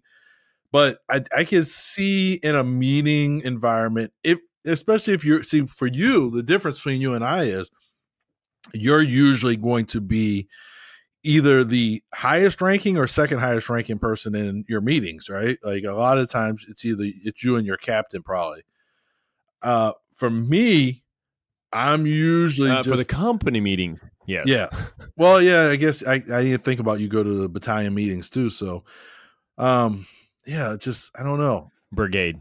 Oh, my, I'm sorry, hot shot. Uh, I've avoided Korea. yeah, but for me, I'm just I'm just another worker being in the room, and a lot of mine are VTC uh, meetings too. So it would be even more strange to be on a video teleconference with like six different locations, and I stand up and, lean forward. But I can see where it would be like, uh, you know, it would it would enhance your presence and, and show some. Uh, I can see where it could show some power. So there's one more pose. I just Oh, go ahead. I, I definitely think though that one it should it should be used with um a lot of tact and then a lot of like I said emotional intelligence you have to know the situation and be like okay I'm about to use like it's kind of like it's like you're about to take away your kid's toy like when you take it you better you better follow up with it or you're going to get used and abused you know what I mean so you have to be very careful with it I think Yeah. Well, so it's funny you said be very careful because in this next pose, the author even says they're not sure when you could incorporate this pose in your daily life without looking weird. It's called um it's the pose where you lift your arm straight up in the air like you've just thrown the game-winning touchdown pass. So when you think about this one, this is what I want you to think about. And and it's in there they're showing a picture of him uh doing it in the article. Usain um Bolt right? When he wins the gold medal and he comes across the line, he throws his arms up in the air, almost like a V above his head immediately, right? That's this pose. So that would be kind of weird. Uh, that would be kind of a weird pose, like in a meeting, right? Just randomly throw your arms up in the air. Yes. Uh, and, and that's what the author says though. But it does it is a powerful pose. You do you know the pose I'm talking about, Brian? I, yeah Yeah, Oh, absolutely. Yeah, I, I I can see what you're talking about there, but I would definitely say it's just like the last one. You have to use it at certain times. Like personally, I think that works well. Like right after like something's going on uh, at physical training, you know, PRT Yes. or whatever. That's a really good time to use it because it's kind of. I like to use it to show embrace too. Like uh, if I'm talking in front of the formation, for instance, and I am speaking about how we have to take care of each other, I open my arms up as if I'm embracing the formation, showing them. And I, when I open it up, I'd say, for instance, you're my family. And if I open my arms up like I'm hugging them and I'm saying they are my family, they feel embraced and they feel like I'm the father figure, possibly. Mm. Um, I tell my commander he gets to be the mother figure. I'm the dad. So now, uh, but that's that's just one of those things I think that works in certain situations. Now, in a meeting situation, I think it's when we come with a eureka moment. Like, yeah, that's it. That's what I'm looking for. You know what I mean? Like, there has to be certain emphasis and it has to be with a certain goal in mind, and then they're achieving that goal, and you're you're showing excitement for it. But to me, once again, it's not something you use all the time. Yeah, I think there's an appropriate time because you know at the same time this this post to me could also convey some sarcasm. So I've been waiting on something for a while. We finally accomplished this thing, and I throw my arms up, and I could also be saying, "Well, it's about time," or you know, you know, thank the Lord, it finally happened. You know what I mean? Like, so it could mean. But in the, I think in a physical environment, physical fitness environment, this is actually a, a great pose for something you know, oh, I just got my best run time ever on the, you know, Army physical fitness test. Throw those arms up afterwards, like celebrate that that that great accomplishment. So I yeah, I can see that. I can tell you that for me, physical fitness wise, so the Superman pose, uh the the superhero pose, that's one I've been rehearsing because in the article it says what's interesting about all these different poses is that not only do they make others perceive you as more powerful, but they also make you feel more powerful. Studies have shown that by simply standing in a power pose for two minutes, testosterone levels increase while cortisol levels decrease, making you feel more confident and less stressed. So in the gym, uh, I will stand with the hands on the hip kind of pose every once in a while and in between sets. One, I'm trying to get my breath and I'm trying to stand up nice and tall and get, you know, get some good breathing in. But at the same time, after reading this article, so for the past week, uh, week and a half, I've been trying this too to see how it feels as far as. That's why I say it's kind of weird. I don't know that I would stand that way in a meeting. Um, but then I break the rules. So I like to cross my arms in front of my chest. And everybody says, well, that's closed. That means you're closed off. But it doesn't for me. Um, and for some reason, I think it's hereditary because my brother stands like that. My father stands like that. My sister. But that's one of my most comfortable positions in a meeting is to cross my arms in front of my chest.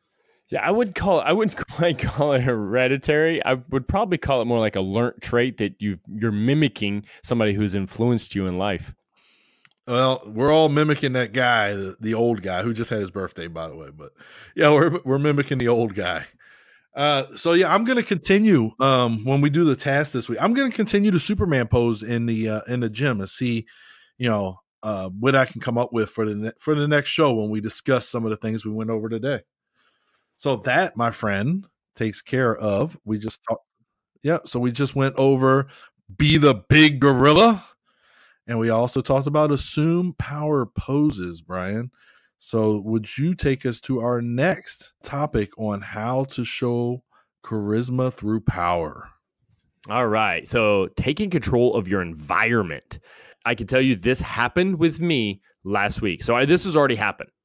Uh, I've I was sitting in a meeting, uh, lots of majors, some captains, a couple LTs here and there, and a bunch of sergeant first classes and master sergeants, and they were basically deciphering some things and they were figuring some stuff out. And I kind of got tired of what I was hearing at the moment, and I was like, "All right, this is what we're gonna do." And like, I you know, I just went straight into first sergeant mode because it is my task to get things, certain things straight here in the company and I felt myself taking control of that environment. I really did. Like, and everyone, it was almost like no one talked. Everyone paid attention to me, and I sat in a powerful pose in a sense on the, at the table. Like, so my arms, I, I definitely had like a, a wide stance with my legs. I'm sitting in the chair, wide stance with my legs, and my elbows are on the table.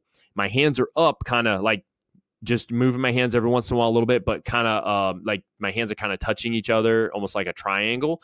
And I'm talking about what we will do and it wasn't like there was like well we can't do that no it was like yes we will do that you know what i mean like so it kind of it was almost like i was influencing them of what would yeah. happen um but with that and and you've probably done it too ed i know you have yeah where you just had enough of the indecisiveness and you just say okay uh i get that when my family gets together we you know sometimes uh, one of us will say all right that's we're, we're doing too much uh well do you want to? And then somebody just has to take charge. My wife is usually the one that takes charge uh, because I relegate that role to her. Hey, make a decision for us. But yeah, yeah, that's all that is. Is uh, you know you get tired of hearing like, going round and round and round. You know what I mean? Like, yeah. uh, well, last week we were talking about doing a trunk or treat as a section, and, and our lieutenant colonel was like, "Hey, that'd be an awesome idea. Do y'all want to do it?" And then that turned into, "Well, do you want to do it? Well, do you want to do it?" So finally, we got her to just say, all right, we're going to, we got a van. We're going to do it. Now we just need to make participation a voluntary thing. Uh, and one of my peers said, went and typed up, you know, a spreadsheet and pretty much made it not volunteer. She just sent out names and said, "You'll do decorations, you'll do costumes, you'll do candy," um, and it worked out. It did work out. Not not the preferred method, but it did work out because that's she got tired of listeners go round and round and round. So once the lieutenant colonel said, "Hey, we're mm-hmm. going to put in in a uh, entry," the other sergeant first class like, "Okay, well, we're not we're not messing around no more." Like she literally tasked one of the other captains to bring their bunny rabbit that they have, and and I'm tasked with bringing the general Patton with me. So, but it, it was a but it was that's it, man. Yeah. Hey, that's how you take it over. Yeah, she just got tired of listening to it, and she's like, "All right, yeah, I'll take this." So, yeah, it's it's it's, and I've never done a trunk or treat yeah. in my entire career until now. By the way. So we we kind of said what it was, but I want to I kind of I want to set the scene so people kind of understand what we meant by that because th- I think they really give a good uh, they give a good, basically, they draw a good picture, uh, um, a word picture for people. So here we go. We feel most self assured, at ease, and powerful when we're familiar with our surroundings. Familiarity gives us a sense of control, which makes us feel confident. This is why organizations sometimes fight over the location of negotiations before they even start negotiating. Each side wants the home field advantage. But how can you be familiar with a room if it's your first time entering it? Author and magician Stephen Cohen suggests doing small things to instantly take control of your surroundings. For example, when you sit down at a table in a restaurant, rearrange things on the table, move a salt shaker or your water glass. It sounds silly, but by doing this, you tell your subconscious that you have control, even if it's nominal of your surroundings, which in turn makes you more confident and magnetic. Look for small but polite ways in which you can take control of your surroundings in your everyday activities. You might be amazed by the results. So, what I really explained there was when you're entering someplace you've never been before, you need to get control of the environment. But then once you have that control environment and how Ed and I explained it is like we we elevated that control to another level by taking control of say the conversation or taking control of how things are going. Uh, I and I think I truly believe though if if you're walking into and this I find this uh, I watch people. I'm a people watcher. I know you are too, Ed, because we've talked about it. Yes. I, I watch people and I watch how they enter rooms. I really do. I watch how they try to mingle with people. I watch people um, as they try to initiate uh, what they want to say. So one of the things that I often look for first thing is like when somebody enters the room, are they confident of where they're going to go sit? That's me first thing because I, I know. So in the army, it's a little bit different. Uh, we we usually have placards, so it tells us where we can sit. But what if there are none? You know, where do people sit? I also like to watch and see. All right, are certain people only talking to people that they work with or are they actually venturing out and they're creating relationships like those are the things that i find uh, key because i'm really big into that crosstalk mm-hmm. i love crosstalk across shops i mean obviously there's certain things that you can't talk about but to me that also sets that whole controlling the environment because what they're doing is they're engaging with others and they're they're they're either learning about something or they're understanding something new um, that's not within their little realm and that kind of helps them understand others within that area, you know. So I like to, I personally, before a meeting, I like to they're plenty early enough to where I can mingle a little bit and talk to people and kind of just, you know, hubbub a minute and see what's going on. Uh, but yeah, it's that's the way I see it. Uh, what are your thoughts on that, Ed? Yeah, so a great example for me was I I was in Sweden for a conference, and we had a uh, 1800 icebreaker is what was on the schedule. You know, 6 p.m. So I was like, that's kind of odd. Like that's that's pretty late. Well, what it was is the Swedes want to have a social before they start any kind of conference. So basically, what we did is we went there. They had spreads of food, coffee, uh, they had beer, they had wine, and um, they gave like one complimentary beer or wine, whichever you wanted. And then you were supposed to kind of mingle. Well, we all know what happens, right? So you're talking about we're talking about various countries everybody's going to go with their own little clique of people, and that's who you're going to talk to. Well, the logistics or the uh, Swedish quartermaster that put it all together, she comes over to us as we were entering and she goes, "Oh, you guys are from, you know, the US." And we're like, "Yeah." And she says, "Okay, well, here's here's the rules. You get one beer or one wine." I was like, "Awesome." And she says, "And then you go talk to somebody who did not travel here with you." And you continue to do this, and I should not see you talking only to Americans.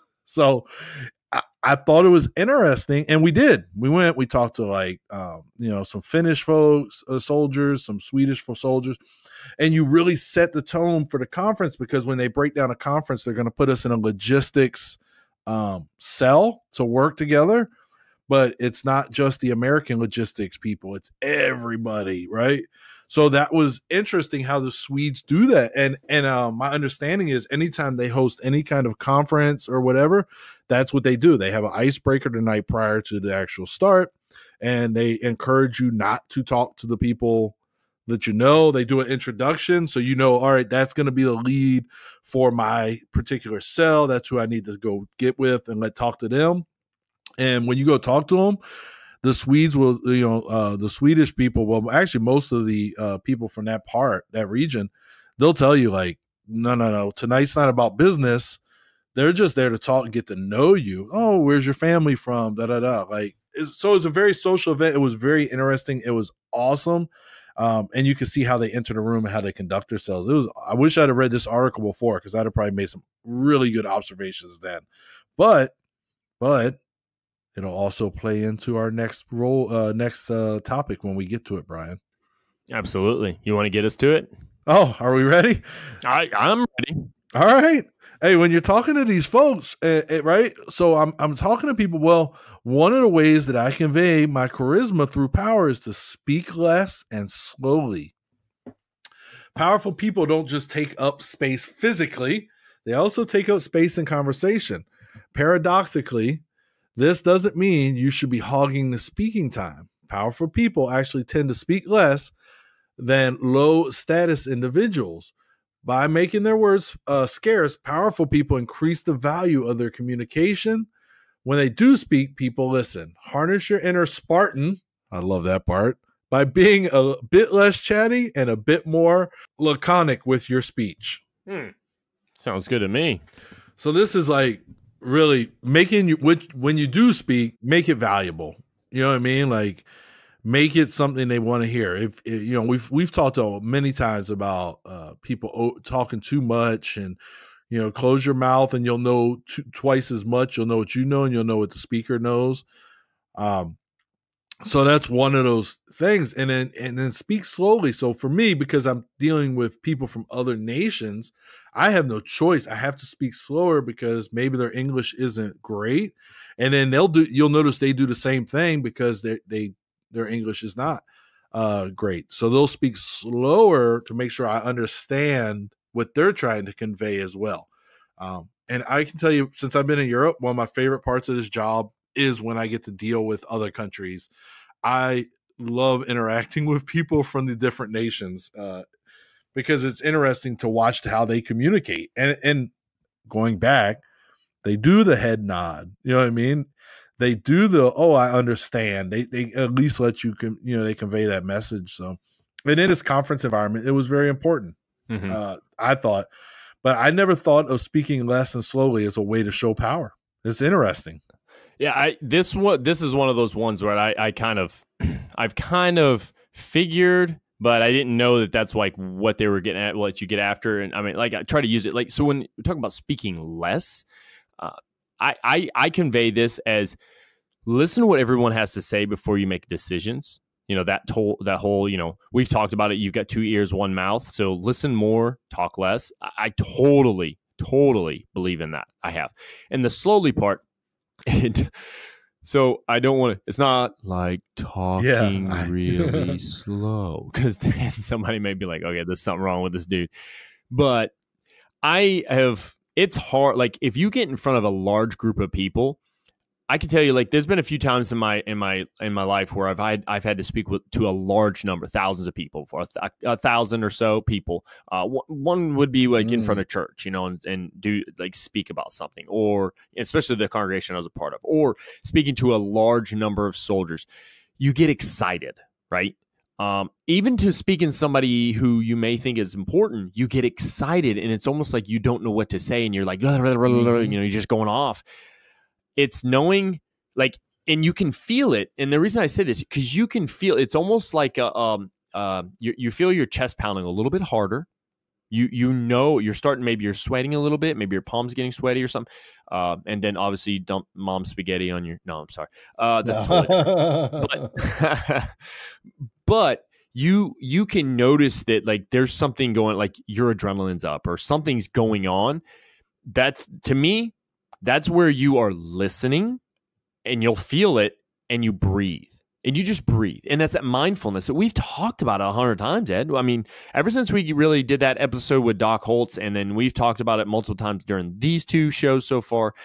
But mindfulness of knowing okay i'm going to probably have to speak i've got to control who i am first and it, it really helps i think it helps to uh to kind of convey the message that is meaningful if that makes sense matter of fact so it's funny uh, Friday morning. Was it Friday morning? No, we were off on Friday. So Thursday morning, uh, we had conducted a, a, company PRT session because we're doing it like every other week. Uh, like the whole company does it together. It's pretty fun.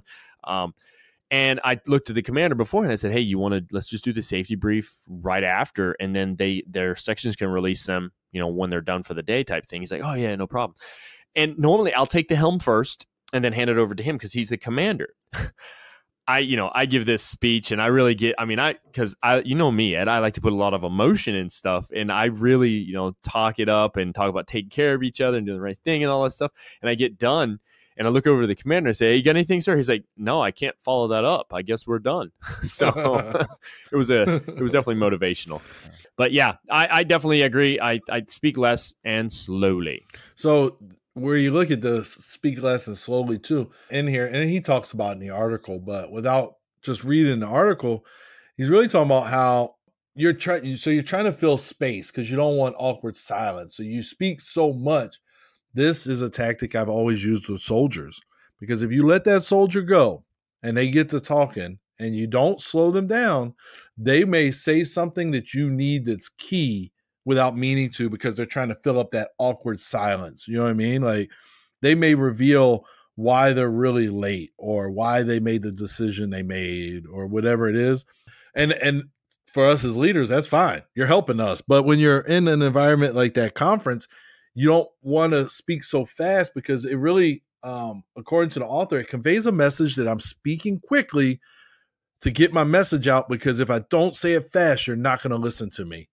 And that's where that power that's where we get back to power now. So when i take my time and i'm speaking to you one i'm showing my intellect uh, and conveying that to you but i'm also showing you that i'm not worried about you ignoring me because i know that you're going to listen to me so i give that slower rate of speech and and that's the message i'm sending and that's where the power piece comes from in this one brian uh, and that's a that's an important one too i'm going to try this in a meeting this week bam I just committed to two already for the uh for the task this week, my friend. You are way behind now.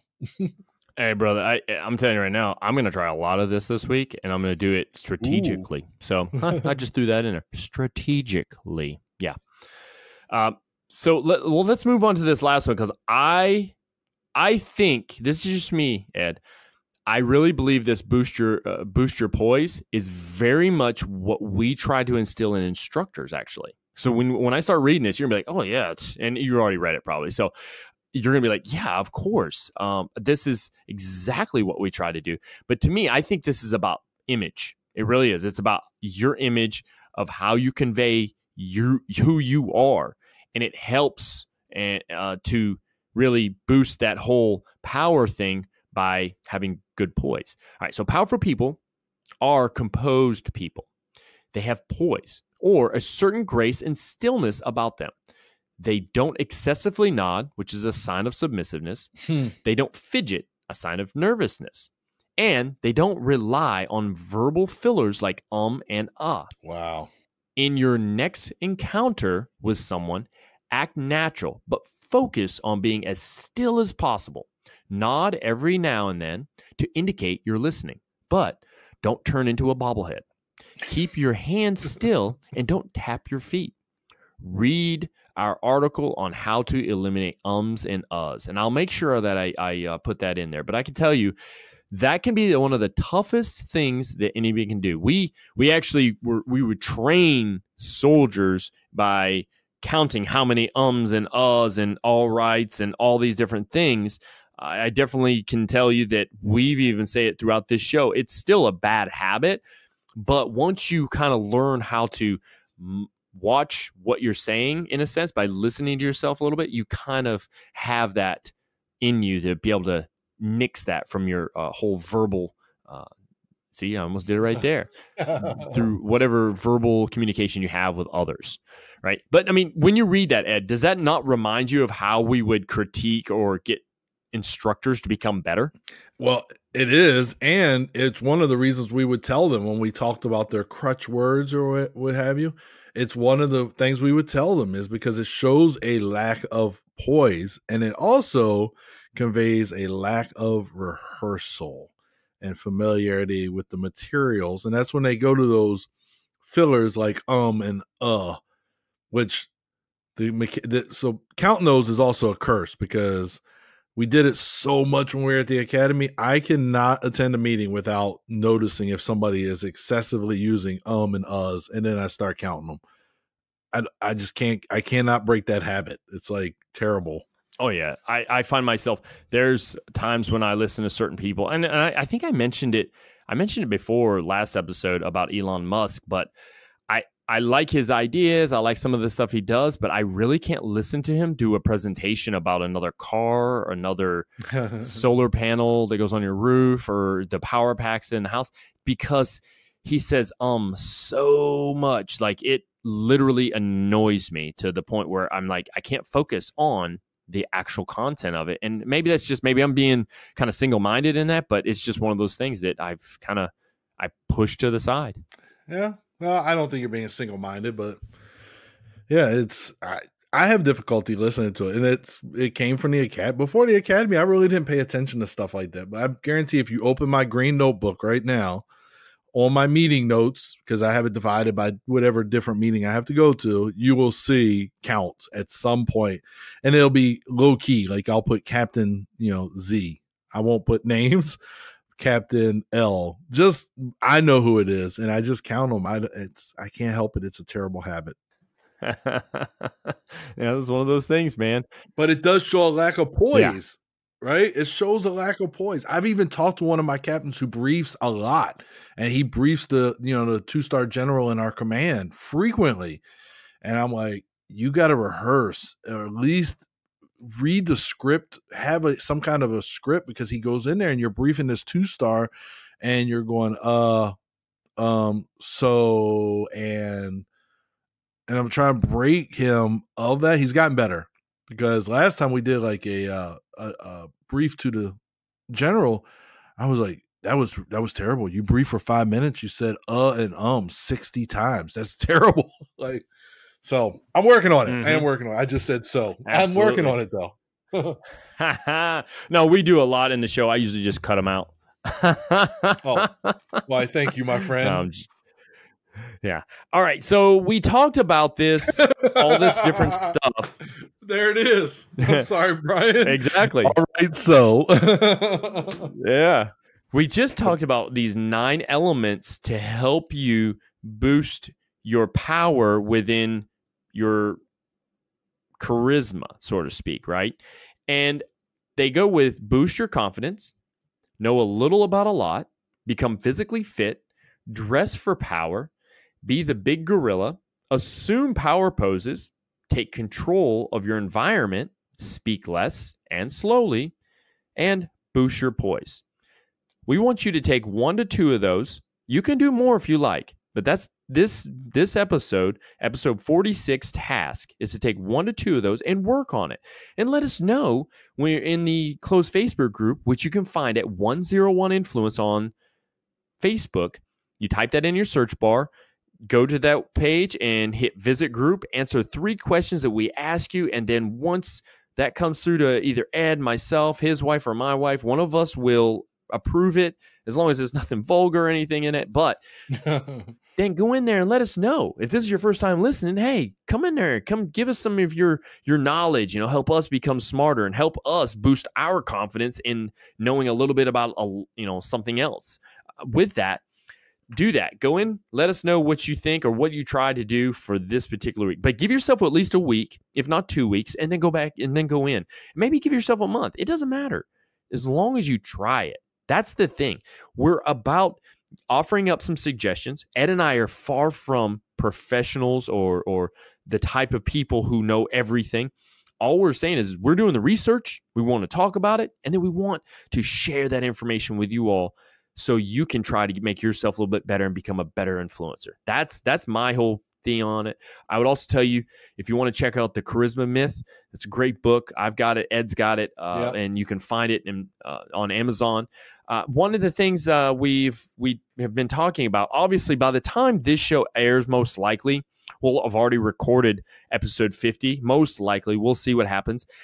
Just I wanted to prepare you for this, and one of the reasons, one of the ways I wanted to prepare you, I want to read something I just received today. Just today, I was in the gym, I was getting after it, and my phone goes off, and sometimes if I'm in a breather, I'll check and see what it is, or if I'm in a during a rest break where I'm not doing anything, I'll pick it up and check it out. But this is what a young mm-hmm. man wrote to me today, and this really, I mean, I didn't work that much with him. Really, if you think about it, I got here to Korea. We were here for a few months together, and then he left. But this is what he wrote: it "says Top, I decided to give your podcast a try during my workout.